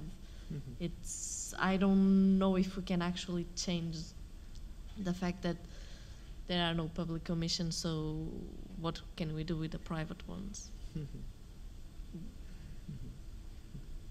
It's also maybe that maybe this could be the reason why we are more interested in an open architecture that uh, perhaps is built for a private client, but in uh, 50 or 100 years it could become public. Uh, Mhm. You never know. So maybe that subconsciously that's why we are interested in this uh, architecture, not very specific for one use, but uh, being open to other ones. So Yeah. and also being uh, somehow interested in, well, each project, being uh, public or private, has uh, certain aspects that are more collective, Mhm. and uh, that's why maybe we're interested in, in those uh, aspects of those projects, even if they are built for pr- uh, private clients. Mhm. In our case, because we are the ones based in Latin America, maybe our case is a bit different. Because in Mexico, at least, there are many things that need to be done, much Mhm. more than in Europe somehow. This is generalizing, but I hope you understand me. And despite there are no, not many public commissions, people have the feeling that they have to do their th- the things on their own because they've been doing it like that since ever. So young architects have the opportunity at least to do things, no matter the scale. But I have the feeling that we are always doing things. It can be a table, it can be a house. We usually only show things that are ready and materialized, so we haven't brought um, designs for housing buildings, something we're trying to get into. But uh, because of having been educated in Europe and uh, based in Latin America, I really see this huge gap in between what you are able to do in places in which uh, constraint are, constraints are much higher, like Europe or the States, and in uh, places like Latin America, in which things are much more uh, free, organic, self-done. Um, I guess Alessandro, as the Mexican part of Lanza, can talk about it better, but this is my opinion. I do believe we have uh, three personalities in Lanza, like the private, the public, and the and the contest, the free the free one. No, so the private one you always deal with a with a client that shows you a bunch of internet images. So that's kind of uh, annoying. I mean, it leads you to somewhere, but at the end you just don't want to see anything about that. Uh, you have the public clients that they have more money and they're not so apprehensive about the space you're going to make. No? And, and in this case, we have the, um, the opportunity to make ephemeral um, architecture that, in our way of seeing it and or, or understanding it, um, it's the most um, uh, permanent one because of the how do you register the the things that are happening now, and the contest. No, that as you say, I, I truly don't know which projects are the one that win uh, pavilions right now. No, what what kind of thinking behind the architecture is the leading um, ways of doing? No. And, and I, would, I would like to add just two, two small details. The first detail is that um, even while doing the smallest piece of architecture, example, a house for a bird, the I think architects should always look up, you know, and bringing Siza and Rossi and Yeah. Shinohara, etc., to discuss a birdhouse, it's somehow an insult, but they don't know about it, so it's fine. Um, and um, the second thing is that I think there's a lot of um, we call we talk about a lot a lot about ecology and sustainability these days, and there's a certain sustainability in understanding that what today so let's say we don't have the commissions Mhm. that those architects had 20 50 60 years ago but we have a lot of commissions now that those architects would not do at all Yeah. so maybe what is happening now is that we are the young practices of today they have the opportunity to create a model that maybe in 50 years is going to be again in this uh, in this uh, innuendo somehow Yeah. Uh, a, big part of the audience here is an audience that uh, will graduate soon, for instance, will start their practice uh, in the next months, weeks, or uh, think of doing it, thinking of doing it maybe. Uh, in, one thing that crossed your presentation is that for me it's something of the time, but, but in, a very, in, a, in a way it's very productive in all your practices. It's a mixture of optimism and kind of not optimism. uh, a mixture of kind of being very aware of what's going on in the world, but also being happy to having the opportunity to do things. Uh, this is something that uh, somehow is the engine and is fueling many of the independent practices that, as you, uh, Filipe said, uh, are very much contributing to uh, bring our discipline into criticality, making it uh, politically active. So maybe we can refer to this kind of maybe stupid thing, but in my opinion, quite serious of how to be optimistic at the same time being not optimistic and knowing what's going on in the world. I, I, I would still say, I, I mean, I don't know where we're going to be in 20 years from now or 50 years from now, but I doubt that in that we will say more with the projects we will do at that time, assuming that we yeah. grow somehow, than what we say today with the small commissions we have now. I think there's a, there's a level of effort and sweat and passion that we have, and an energy that we have that probably comes with the age, uh, that I, or that we might lose with the with the with the years, that uh, I think makes every of these very small jewelry boxes we are asked yeah. to do much more special than maybe you know what the big architects are doing today. we enjoy more architecture than Norman Foster. This is a fact. There's no no no discussion.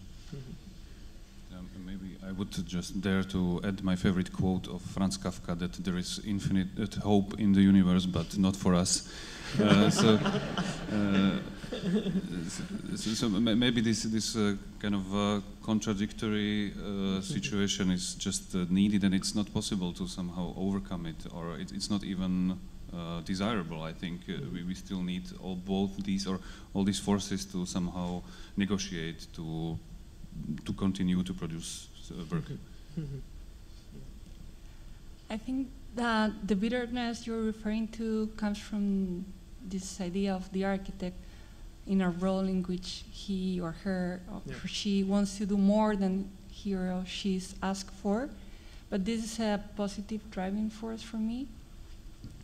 And there's also the um, joy and the fun of trying to subvert what you're given and do much more, trying to cheat or to tease the situation and often much more and uh, the pleasure of finding a material, the pleasure of designing a detail, the pleasure of seeing something flat become something in 3D yeah.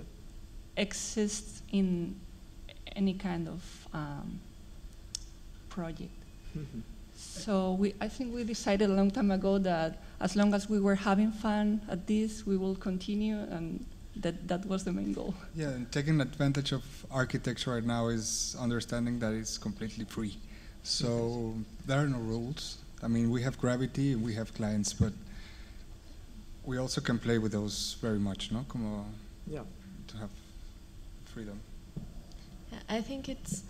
Um, if we think about that, it's a bit hard to be an architect nowadays or a bit harder let's say. If we don't have fun in what we do it's gonna be even worse. So i think it's more about that we really need to enjoy what we are doing so that every, all the other boring parts or things that we would like to change but we can't uh, are not so important and so heavy. And for example yeah. the first time like the house that Filipe showed with the tower with the pink triangles.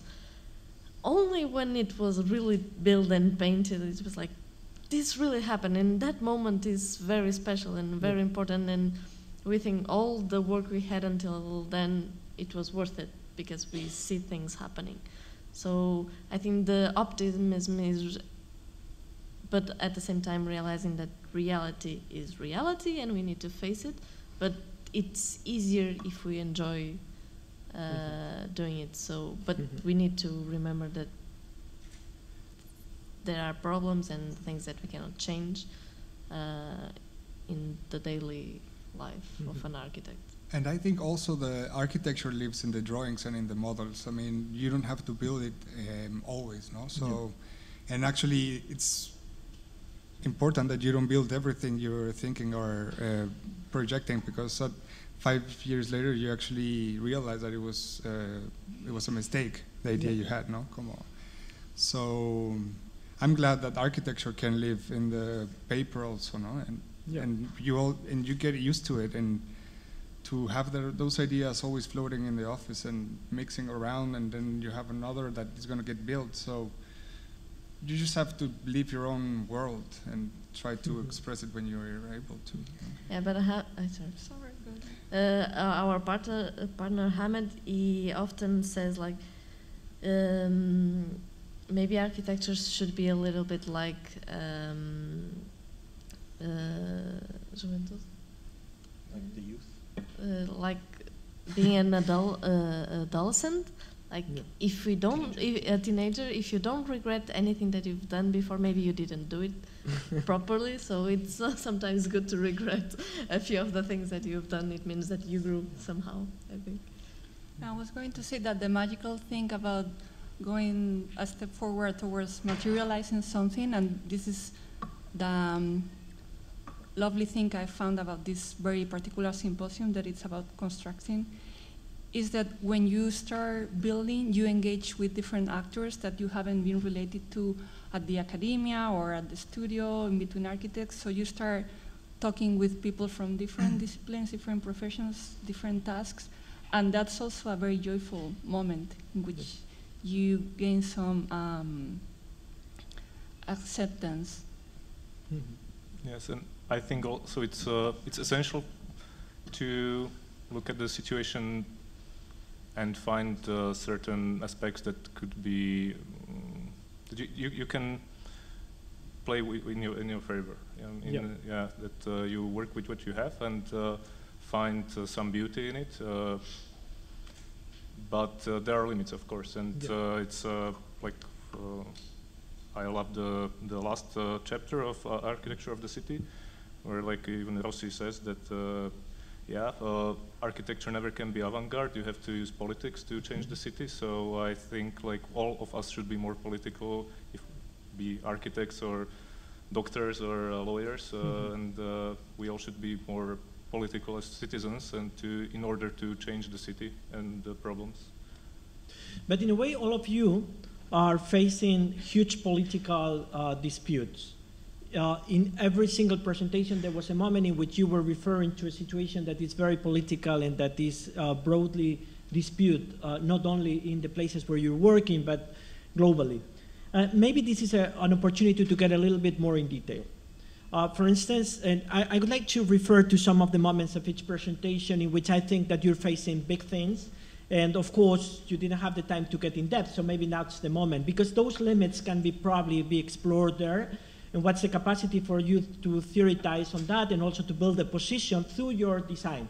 So for instance, when you were talking about uh, uh, Bratislava and uh, the, the way the city is evolving, you were talking uh, of many difficulties that have to do with, with who's gaining agency in those transformations, what's the impossibility of architects in many ways to affect that, what's the way uh, global capital is affecting places like Bratislava or Slovakia at large or Europe at large, I would say. So maybe this is something that you can explain a little bit how you negotiate without how, how, you basically position yourself and what's the, what is that that you can do through your uh, work on that. For instance, in your case, Isabel and Alessandro, uh, uh, in, in, a, in a similar way to, to Michal and, and Martin, you're also facing with uh, the fact that, for instance, water in Mexico City is a huge dispute that is producing inequality. It's, uh, it's very much dividing society, uh, and you're working with that. Also, you were talking about taxes when it came to design this particular gallery to show the artworks that artists are giving us payment for the taxes. So you were also touching something that is crucial in Mexico, and uh, it's in the heart of inequality. So maybe you can tell us a little bit about what's the way you could, you could really intervene those realities through design and what's the way you conceptualize and position yourself through your work. And in your case, you were talking, for instance, of Porto and the way Porto it's been totally transformed uh, by gentrification, but a very particular kind of gentrification that comes together probably with the fact that Portugal is attracting capital through tax uh, uh, incentives, and that is becoming this uh, part of, like many other places in Europe, that is becoming sort of a, a, a maybe I'm exaggerating a little bit, but an onshore, offshore location, and that's happening through architecture and through the value that historical architecture, as you very well explained, happens. So all of you are kind of, your projects are pulsing the capacity of architecture to conceptualize, to take position, uh, to think of the way design is part of huge disputes, political disputes, but also disputes that are calling for new ways of thinking about the uh, agency of architectural practices and also about the way we understand uh, what's the way, uh, the materiality of architecture uh, is part of larger discussions and larger dynamics. So maybe we can do a little bit of a round in which you tell us a little bit more of how you dealt with this, what is the way you found your architecture could uh, find ways to be part of that and to make a change there or not, and what's the way that you could position yourself through your work in these particular political and kind of cultural, political, social, environmental disputes. Maybe you want, Michal and Martin, you want to start. Yeah, maybe I will start and Michal will continue. Um, right now, or it's in almost the last 20 years uh, in Slovakia, uh, most of the cities uh, are shaped by a private sector. It's almost 100%. Uh, state is not investing. Uh, if it is, it is uh, really like in a small percentage of the whole amount of the, of the, of the city fabric. This is actually and, and it's like 10 offices that uh, that do build the, the whole Bratislava. So it's uh, it's very homogeneous. It's very I would say uh, wash, washed out almost.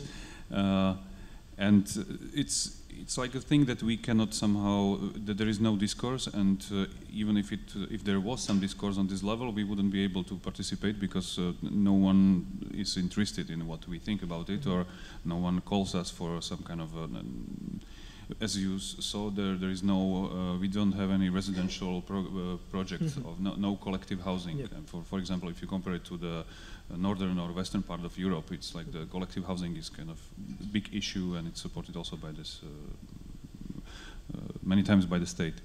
Uh, uh, so what we did uh, is also what Michal showed, uh, is that we did some kind of our personal research or reading of the city mm. to, to somehow define it and to, to pose questions. we, we did a workshop and then we did an exhibition and this, this way we try to somehow uh, make our uh, points legitimate or uh, to, mm -hmm. to, to, to, to, gain some strength and to be a voice mm -hmm. in a way. But it's like in the process, I would say, right now. Mm -hmm. Yes, well, we are trying to take advantage of the situation that the city is small and uh, almost uh, everyone knows everyone. Mm -hmm. So if you say something that uh, has a that is of a relevance that uh, it's uh, then most possibly you are also hurt. So we are trying to take advantage of it, but uh, we also want to do it step by step and really analyze the city in a way that uh, we intuitively know uh, what do we like about the city and how, what do we like about the condition that is seen as uh, disadvantageous most of the people think that uh, it's, it's bad that Bratislava doesn't have an identity or such an image of itself. Uh, we think of it as a, as a quality, that uh, there is this kind of instability, that there is no, there is no this kind of a, uh, identity of, uh, okay, Bratislava is this and we can uh, then capitalize on that. No, it's like, it's still an open mm-hmm. kind of identity. So I just wanted to say that it's often it's uh, it's pointed out that uh, Bratislava wants to be like Vienna or like, like mm -hmm. Prague, but it's not possible. it's basically not possible. that the fabric is not there anymore, or it never have been there. Uh, so it's a completely different uh, uh, substance, yeah. I would say. yeah, we love how rough it is, how uh, discontinuous it is, and and we see it as a potentially as a model for metropolis in 21st century uh, with its uh, morphological diversity of the co complexity it offers. So uh, we want to build on that and perhaps build some kind of a theoretical model on that, but uh, we are still uh, use it as a something to read. But I think that's what it is. It's essential to see all these disadvantages as possibilities to, for something better. Yeah. So referring to the water issue, which I think it's uh, so important in mainly in a city that's like Mexico City. Of course, when uh, when the Europeans arrived, the Spanish arrived, they found a system of interconnected lakes that was Tenochtitlan, and they slowly start to dry them out out of hygienical reasons, but of also out of ignorance. And century after century, the city started losing and losing more lakes. But the, the very deep problem arose uh, in, in, the 19th century and 20th century when the underground aquifers started to be exploited so much that actually the city uh, accelerated its sinking. Today, you have points in the, uh, in the, city sinking as much as from 40 centimeters till one meter, so from two feet till five feet, which is a lot. I mean, Venice is sinking like two millimeters a year. Yep. I mean, Mexico is sinking one meter a year. It's, it's really crazy. So to mend this situation, you need such a political um, engagement and in, from the engineer point of view. But what, what we can help more to as architects, I, I think it's in the educational point of view. So we try to keep on writing articles, being kind of engaged with receiving students or lecturing and communicating. And of course, the, um, the pavilion, uh, the communi community center pavilion we did with, with To and Alberto Deiz attracts attention on this very specific issue of the water. But it's such a huge issue and it's involving so many factors that uh, architects need uh, like more people involved and trying to maybe to be a bit more optimistic, I'd like to say that the, the story behind the taxes, um, the tax collection, the treasury collection, uh, it, which begins uh, 40, 50 years ago, when some artist friend of uh, Siqueiros, uh, one of the very important muralists, uh, David Alfaro Siqueiros and Diego Rivera, was uh, sent to prison because he couldn't pay his taxes. And Siqueiros suggested to the minist uh, ministry that artists could should pay should be able to pay their taxes with mm -hmm. artwork. So in a way, and maybe regarding Mexico as a young democracy, mm -hmm. from a European point of view, I have the feeling that if you come up with a very brilliant idea that is gonna that isn't gonna cost money to the government, mm -hmm. somehow you can be listened consistency, uh, resistance, and try to keep the, the, the things you want to do and not go to the flow. I mean, may, the, most of my colleagues actually want to build uh, housing uh, developments or make money with architecture or being an architect uh, means to build whatever, no? Um, sorry, I lost the word. What I'm trying to say is that um, when things when things get uh, actually rough with some client that you want, sorry, I lost the idea. Please, you keep on. um, so in Portugal, it's a bit different than Mexico. Um, the main problem that we are facing right now in Portugal, or it, it is a problem, but it was also a very good thing. Mm -hmm. So Portugal was in a very, very big, and Europe in general, but I think Portugal even more than the rest, uh, was in a very big crisis. Nothing was happening um, the prices went super low of everything. But even with the prices being super low, nobody was actually being able to buy anything. Uh, even banks were not giving loans to private people. So it, it was a very complicated moment. And we actually decided to come back when there was still a crisis on. So, first, I don't know why. um, but then we were lucky that suddenly a uh, series of um, changes in laws and uh, opening the investor the, the country for uh, in for outside investments. Um, everything happened a little bit at the same time, and mm-hmm. everything started to develop a little bit too fast and not controlled. So, for example, it was the Golden Visas program. Um, it was the fact that the north of Africa was super unstable. Portugal was in the corner, very safe. Nobody cares about it. So, it was a safe spot to go.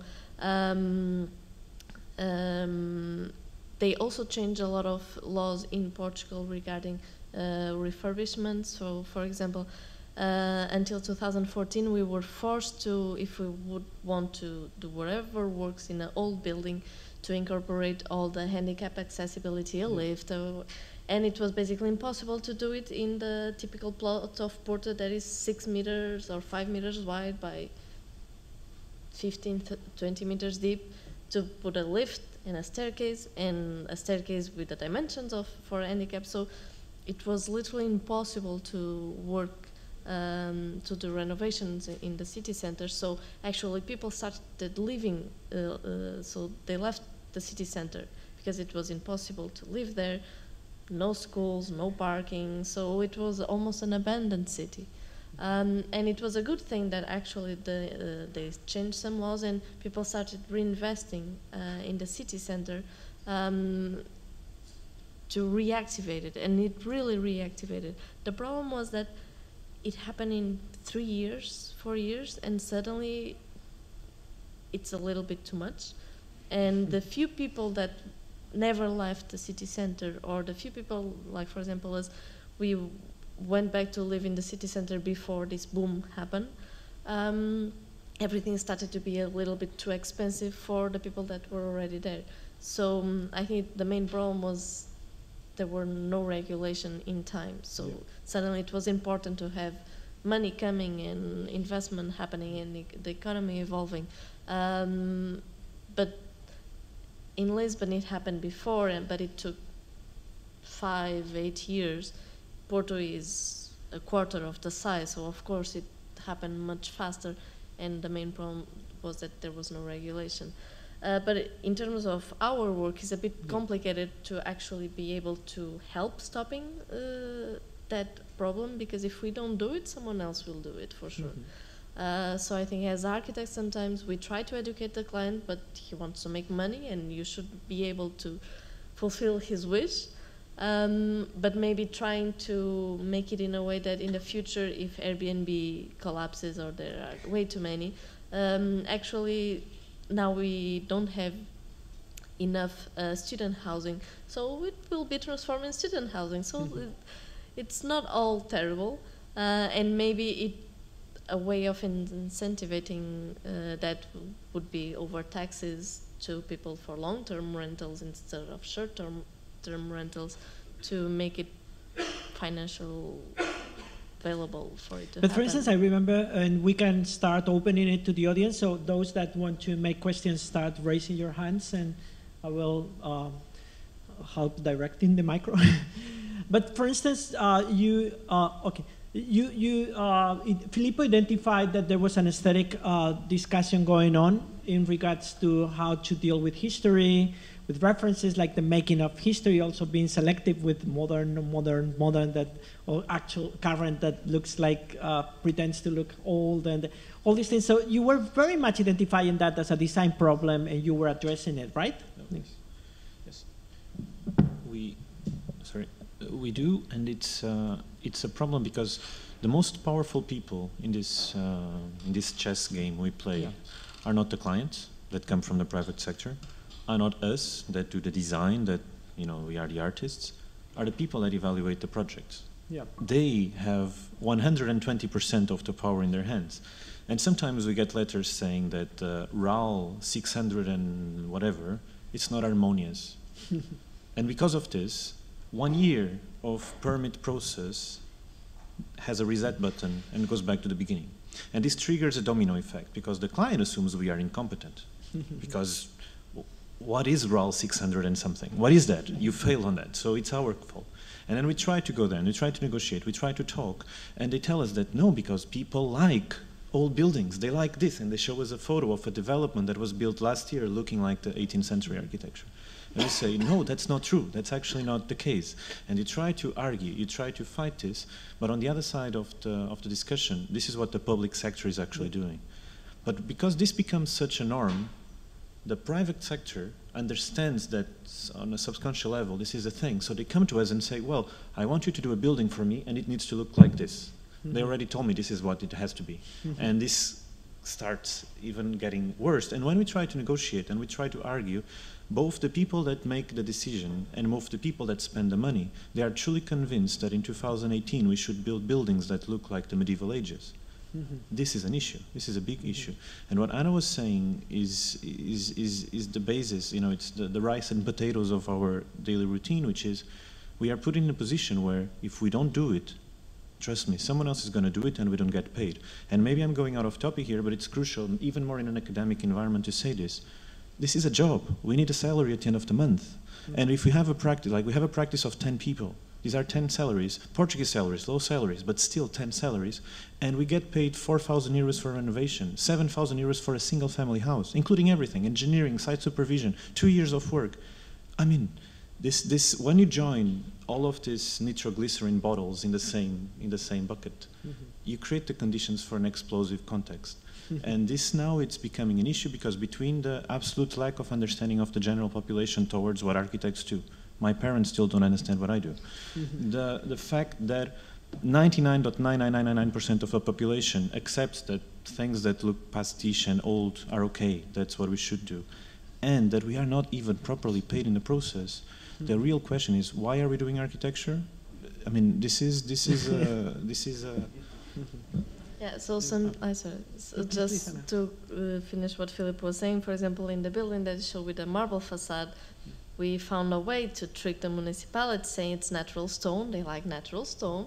Uh, in the front side, uh, we changed the tiles for natural stone in the same color of the original tiles, so they accepted. So it's really trying to find a way of, if they they can of course ask like what kind of stone, but they didn't. So we managed to do it, but only because it was in the back facade. Because of course in the front facade they checked what kind of stone we were proposing mm -hmm. and all those things. Mm -hmm. So it's now, I just wanted to go back to the first question that Andrés uh, brought on the table uh, at the beginning of the conversation. I thought that uh, was really sharp and smart, and somehow it uh, thanks to that question also I realized how important it is to have this kind of uh, symposiums nowadays because clearly our references as, as, as you were referring Andrés, our, the way that we have been educated and still nowadays our main references are of practices that uh, were raised and defined in a, in a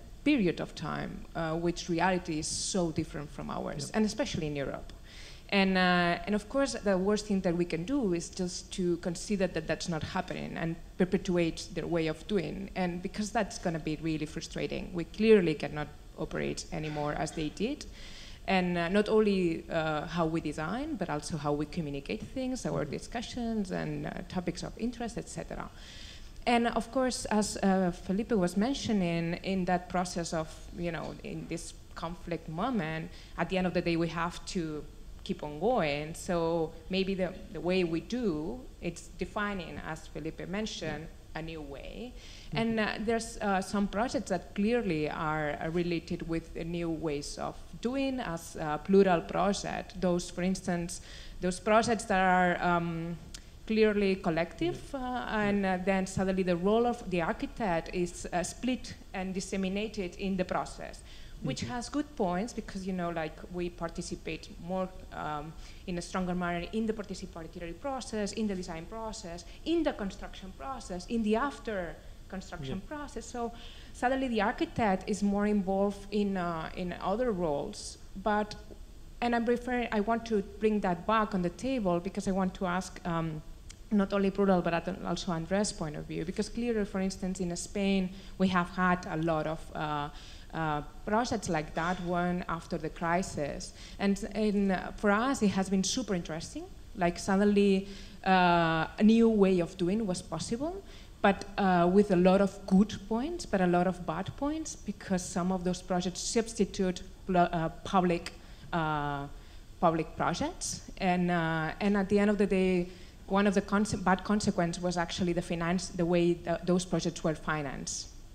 So the idea of yeah. a discipline that suddenly started to be a volunteering act so suddenly, kind of a labor of love. So we did it in a voluntary manner. And I'm saying this because I think that still, despite those controversies that we faced in Spain, it's a, a new way of doing that I, it has a future, it has a lot of possibilities. So my question uh, to Plural is how do you, what do you learn from that? Uh, that by the way, the, the result of that project that I follow it was, it's amazing, and I was happy to see images today. How, what do you learn from that? How do you see if you have other projects like that, or which are the, the future of those practices?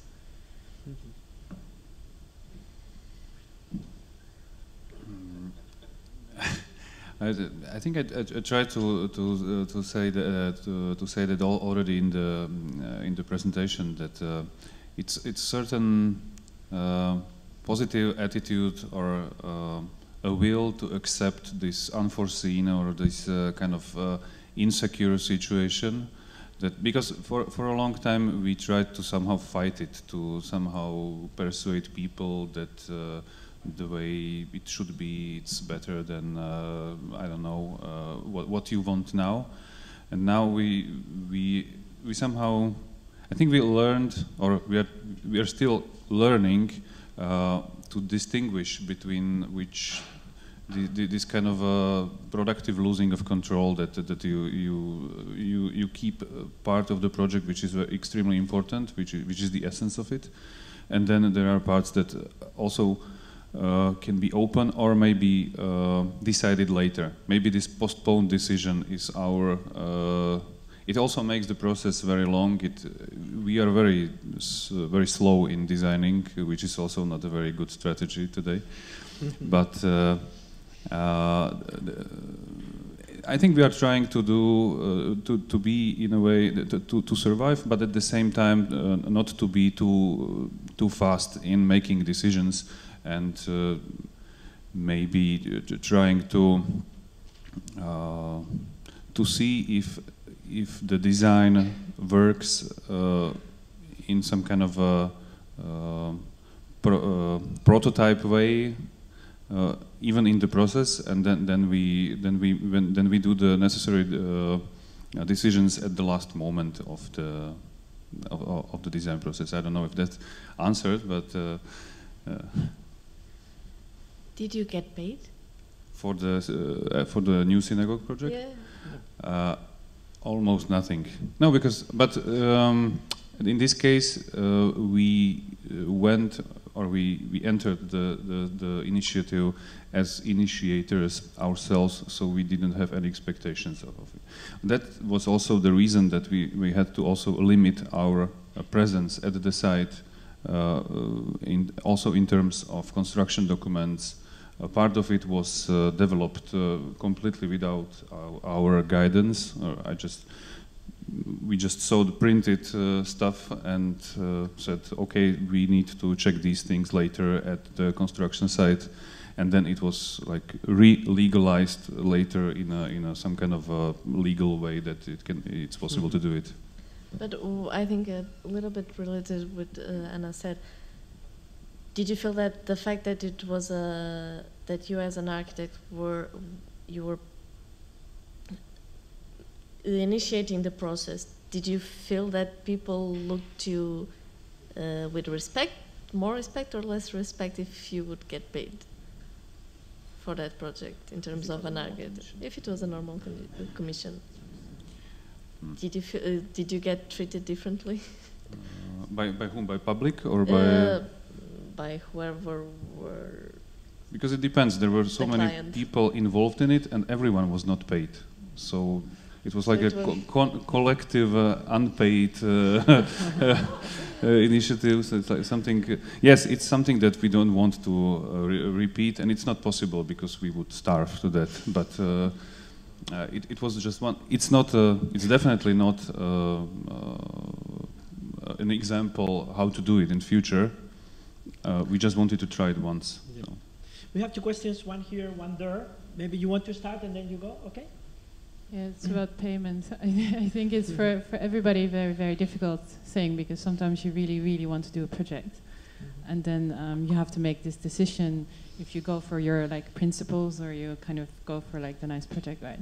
But um, I do feel like it's, it's really good to try to convince try to continue to convince clients that what you do is like extremely valuable and why would they pay a doctor or a lawyer fees that they never negotiate? They just yeah. pay no what they ask. Mm-hmm. why do we always have to negotiate? And i think it's really good if we um, I, I, mean i don't know your personal situations or the situation at, for each project but i think it's very easy for clients to say oh you're a young architect and they, they see how eager you are.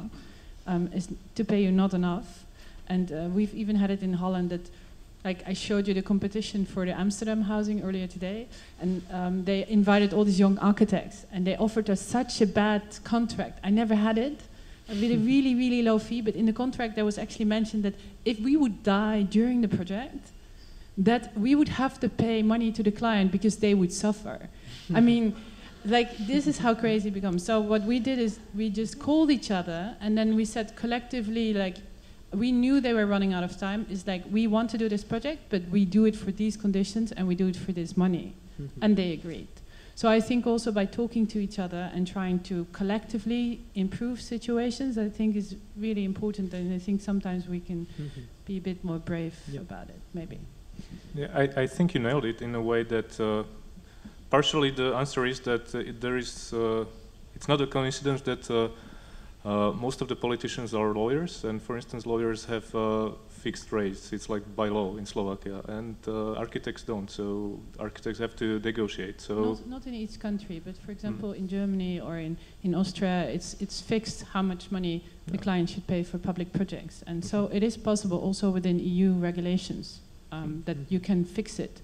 Uh, in Holland, they abandoned the system, and we actually get paid half of what architects got paid 10 years ago. And then we don't even talk about inflation. So uh, I think even in the Netherlands, everybody feels it's like this dream country for architecture, etc. But also the conditions for us has become really, really bad, and uh, we are trying really to change it. But I think you can only do as a bigger collective instead of individually. It's like, in, in other words, you have to become more political. Uh, no?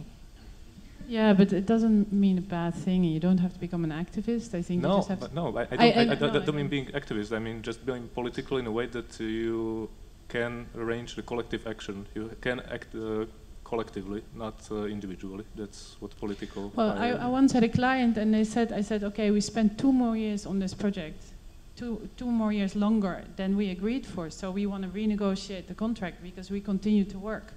And they were like, we really don't understand because it's really nice, no, that you can do this project.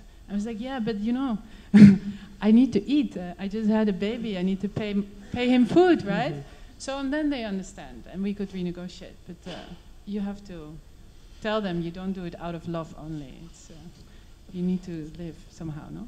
but Michal, you were referring also the uh, the the how basically practices could be empowered by understanding practice as something more collectivized or more based on association also like which is very much connected to the case that you're talking about. For instance this competition in which basically all the participants were teaming up to uh, kind of claim the conditions. Not so this I is something that is very interesting illegal to do this huh? yeah. But but Michal was uh, referring to that. I think that that is a very maybe you can expand a little bit on that no, I, I think it's a very kind of, kind of, a rational thing to do. It's not something theoretical. I mean, for instance, like uh, I don't know how it is uh, somewhere else, but in Slovakia, lawyers have a chamber of lawyers, and this uh, chamber can lobby in the parliament, and in the parliament there are 150 people, and they can do basically anything. Mm -hmm. So, uh, and uh, you just have to convince uh, 76 people and you, you can establish anything you want. and instead of that, like mostly architects, what they do is like uh, we have to inform the we have to inform the, the public and we have to uh, uh, make them know what good architecture is and how architecture is beneficial and uh, in time it will come but uh, I mean there are 76 people that can do anything you want if you convince them so I mm -hmm. think it's just simple as that. Mm -hmm. Um, first of all, thank you very much for your presentation and for the super interesting conversation. Um, I have a question about uh, the space of theory in, in your practice. To, to go a little bit back to sort of the students and what will happen, let's say, after graduation. Uh, what happens fairly often, uh, in, you know, maybe in this school, we were talking a little bit yesterday, is that some students after graduation, they probably get hired by uh, big corporate firms, and uh, in which case uh, he or she will work on projects that could relate in some ways to sustainability, to technology, to a certain extent, maybe even to politics, but probably not to theory. And um, now, considering the, the current condition of, of, uh, of the field, that I think we got even a better idea after, after your presentations, you know, with all the problems related to both private and public commissions, uh, I would like to ask, how do you find the, you know, the space for keeping uh, theory as a central element in your, uh, in your projects, beside the research that you can conduct related to academia or, uh, or exhibitions? Yep. Thank you. So for us, uh, the, the only way of working into theory is either lecturing, but mainly at the studio, either doing an editorial project mostly self-publish or you ask for a grant to publish it, or doing a research pro project like um, the one Alessandro was planning with the FONCA grant. So these kind of grants allow, allow you to work maybe for six months or one year into specific subject. And applying for grants, it's a kind of job in itself. I mean, you have to find an equilibrium to be able to do both. I think th this is a very this is a very this is a very good question because I think what uh, what en what ends up happening, at least in our case, because as I said, we start with the praxis and let's say the theory or the juice we can extract that we could call theory comes from an empirical uh, sequence of events. But in the end, we speak five languages. There's a language that me, Ana, and Ahmed speak between the three of us, where we use certain kind of words. There's a second language that is the one that we use within the office, because the office includes a series of people that we need um, to argue and discuss and convince, and maybe it's not as clear for them the motivations of the office as it is for us. Then we need to talk with a client, and we use words like beautiful and gorgeous and nice and I feel cheap. Cheap, cheap is very important. Uh, and we talk with them in a way that it hurts in our soul a bit, but we do it. Then we need to talk with the contractor, and we need to tell him that it's actually tilted, it's not straight, that it's actually pink, it's not white, and we need to say it several times because sometimes they paint it three times. Because the three times we said pink, someone passed by and painted it in white, and they actually tried to explain us that we are wrong. And then finally, we need to talk in lectures and events like this, and we can make, we can make it seem very glamorous and funny, but 99% of the time is painful as you cannot imagine. So for the 1% we have here, we have 99% of everything else that academia doesn't teach you. They teach you how to do museums, how to write short stories and narratives. They, they don't teach you how bad it is to have a meeting in the municipality with the client where the guy just fucked up, but the client thinks you are a moron. They, they, don't, they don't teach you this. And even if they do, and even if they give you the example case, they don't give you the feeling you feel on that day. They don't. so this this idea that you have to speak different languages because imagine the following situation imagine one of our small private clients showing up and we try to explain him palladio and we try and we keep trying and we keep failing and the guy just asks us yes but what are the tiles on the bathroom and this is the difference of these courses like if someone wants to know how the handle is going to look like and you're talking about symmetry and renaissance and whatever you're the, the one that is wrong. It's not him because he doesn't. He didn't ask for that. He just asked for the bathroom. So how how do you find the? no, what Filipe said, everything is true. It's a fact, unfortunately. Um, but I think an important part is that um, if we only talk about tiles in bathrooms, we get bored so if we don't find the the entrance or some or the theory behind those projects for ourselves as a practice, nobody else will care about it. But if we don't, it's a problem. And sometimes it's it could it could be much easier just to say yes and do almost copy paste some projects than the huge effort sometimes we have to convince clients to do something. Um, other times the clients just care about the Excel sheet, mm -hmm. so we actually need to be the ones discussing among ourselves like what to do, what can be interesting or not, because there's no discussion at all with clients.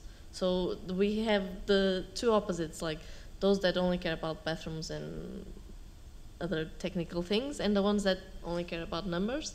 And if we make a striped facade or a white facade for them, it's the same as long as we fulfill all the square meters and all the um, the, the prices and the money. So it's really about us as an office trying to find the interest in architecture, in the architectural discourse. Because in our case, of course, we have been teaching in, um, and doing some small research projects, but the main thing is while we do the projects and while we build the projects where we get our fuel to actually then find this is an interesting topic and maybe we research on it. But as Filipe was saying, like the practice comes first and the theory yeah. evolves. Mm -hmm. We have a question. Ah, please, please, no, I, I, was just going to say, during the presentation, I said, uh, I used this metaphor of fighting the windmill. Every time we find a windmill, it's the moment where we are trying to generate theory, let's say. Let's, we are trying to create something more.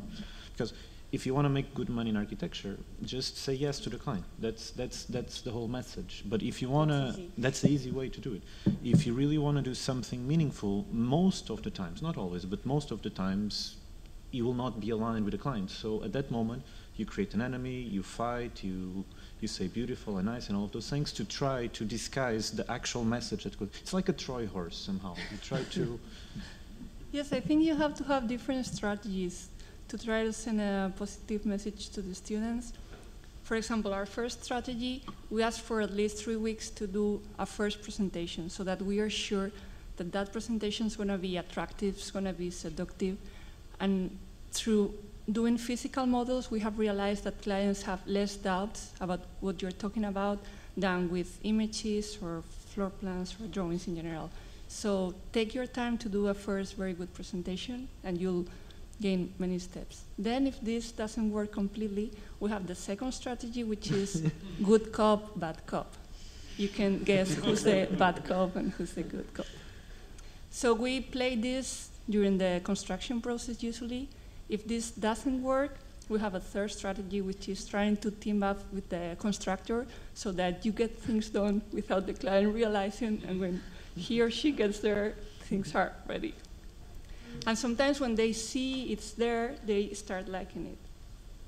And if nothing of it of this works, we just learned a new strategy from a friend, Emmanuel, that he calls the silence strategy. So the client says, I want this, and you just don't answer for days. After some weeks, he writes back, I don't want this. okay. There's one, Pedro wants to, uh, yeah. I think we have been talking about uh, communication issues, about how we, be, we are political, and etc., etc., etc and I think it's been super exciting. But I just want to make a very simple question, very straightforward, which is once babies are born, once your babies are out there, what do you think you leave to the public? What do you think you deliver to the public? Mm-hmm. That's not a straightforward question. I think having the the dinner invitation months later after you deliver the the house is uh, quite a complicated um, meeting, no? so at one point you have to abandon the, the, the house or the project, no? I mean, you, you never stop building then. You always have the, the drop that's invading the house. But you, you have to be quite critical when you, when you stop building your project, no? You, you have to go back to the, to the first sketches and see what the whole the whole process was all about, no? And when you actually see the the the construction finished, it, has been two years now, no? For example, you're not the same. The client is not the same. So, and it, and it's sad. I mean, architecture ended. No, I mean it's like a postpartum. I didn't have a baby, but it, it's it's to give up on, on a project is it's a painful thing. So and at the same point is a relief. No, but you you don't know what that is. I mean, architecture for us, I think it stops at the moment you give the, the, the drawings to the contractor. No. Well, thank you very much. There's so many questions and hands raised, but maybe we can do it informally because there's now a possibility. So, thank you very much.